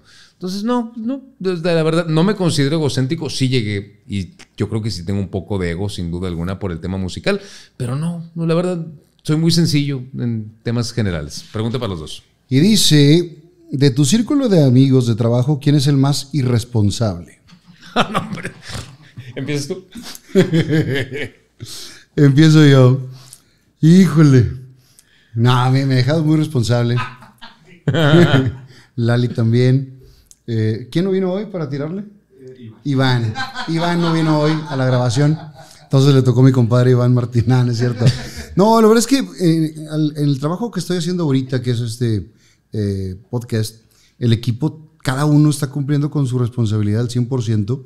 Cada uno tenemos diferentes responsabilidades y, y todos estamos jalando por el mismo lado. Y creo que por eso salen las cosas. Sin duda. Yo, esta, a estas alturas tampoco. Nomás de Luis Carlos no vayas a hablar. no, no, para nada, no, no. Súper responsable, al contrario. Súper y aguantador, ¿eh? Mis respetos. No, no, yo también, a estas alturas, si me hubieras preguntado esto hace 20 años, tengo una lista que no acabo. Pero ahora que todos somos padres de familia, y, este, y tenemos una casa que sacar adelante, no, al contrario. Yo creo que todos mis amigos, todo mi círculo tiene eso en común. Son personas muy trabajadoras, muy responsables y muy dedicadas. no tiramos, no le tiramos a nadie. O sea, el chiste es hacer polémica. decir, ah, ¿sabes qué? Este vato es así. Una más para los dos. Va. Y dice, ¿qué tanto te importa? Este está muy aburrido. es que ya le he contestado varias veces. Va, otra, otra más. Venga. ¿Qué es lo más loco que has hecho por amor? Ah, la torre. Empiezas tú, Tocayo, en lo que yo pienso. ¿Qué es lo más loco que he hecho por amor? Este. Pues digo, disfrazarte de babosadas para entregar un, un, regalo. Ridiculeces esas cuando, cuando las mariposillas andan revoloteando. Claro. Hace uno muchas babosadas. Hace sí, claro, sin duda. Ah, lo más loco que has hecho por amor. ¿Casarme?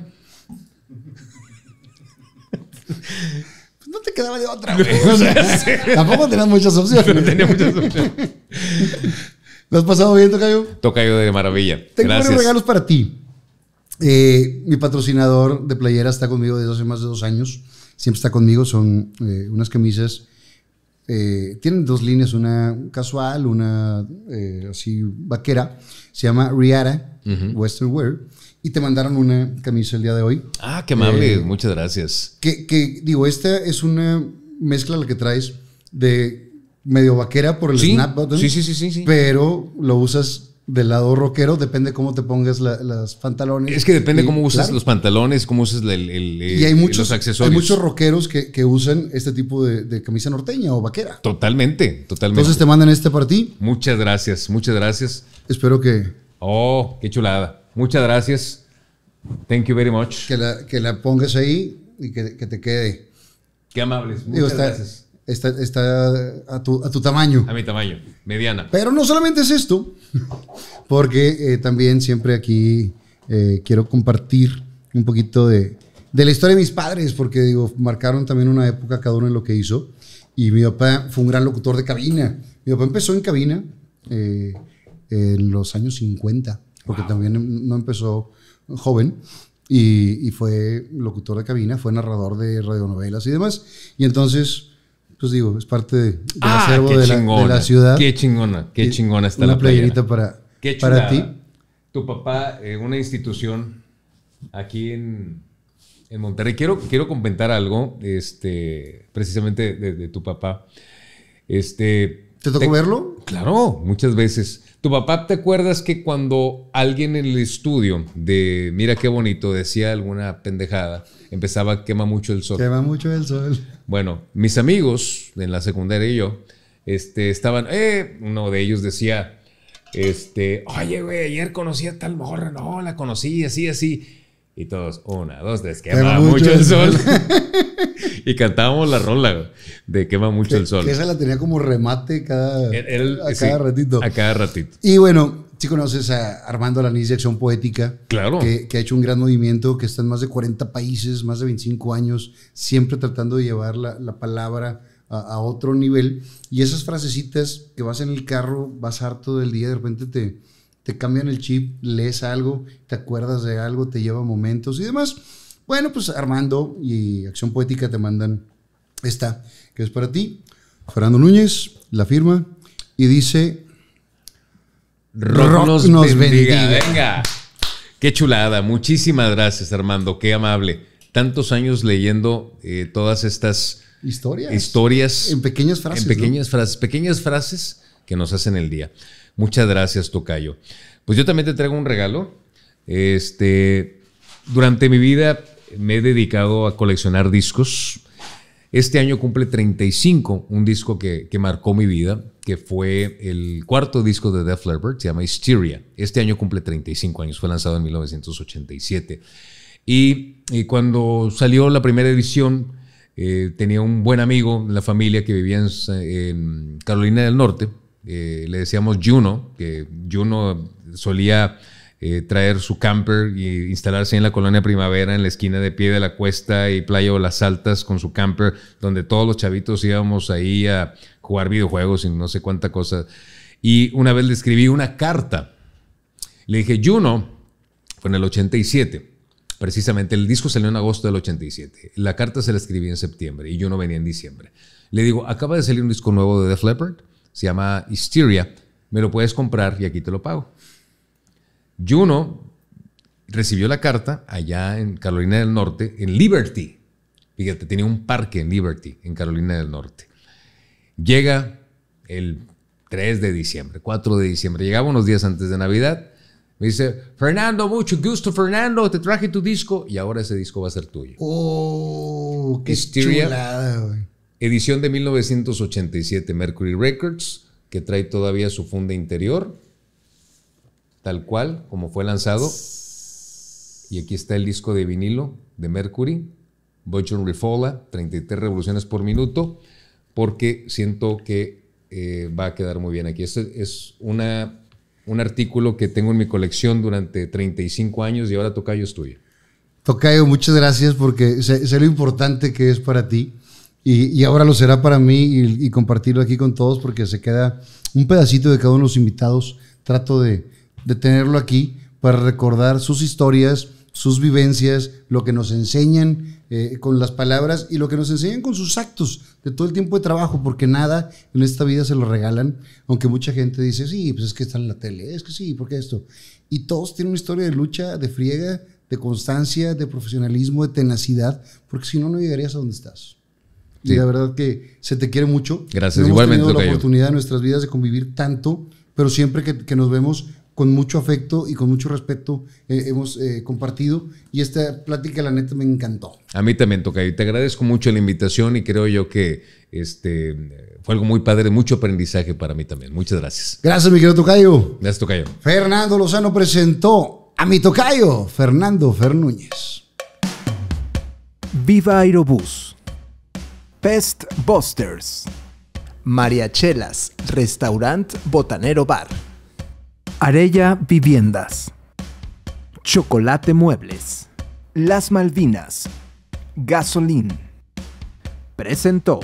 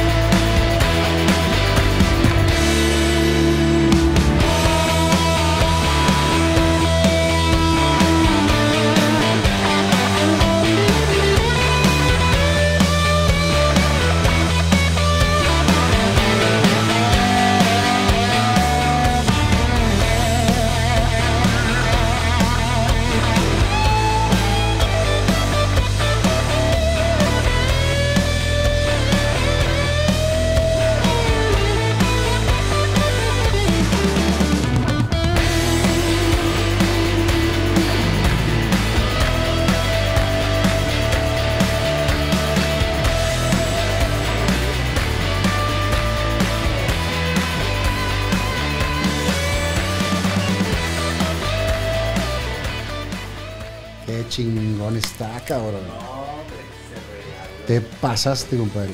Compadre, es un gusto, es un gusto. Te pasaste, aquí lo tendré. Nada más nos damos una foto. Sí, compadre, claro que sí. Aquí, aquí sentados para, para la portada.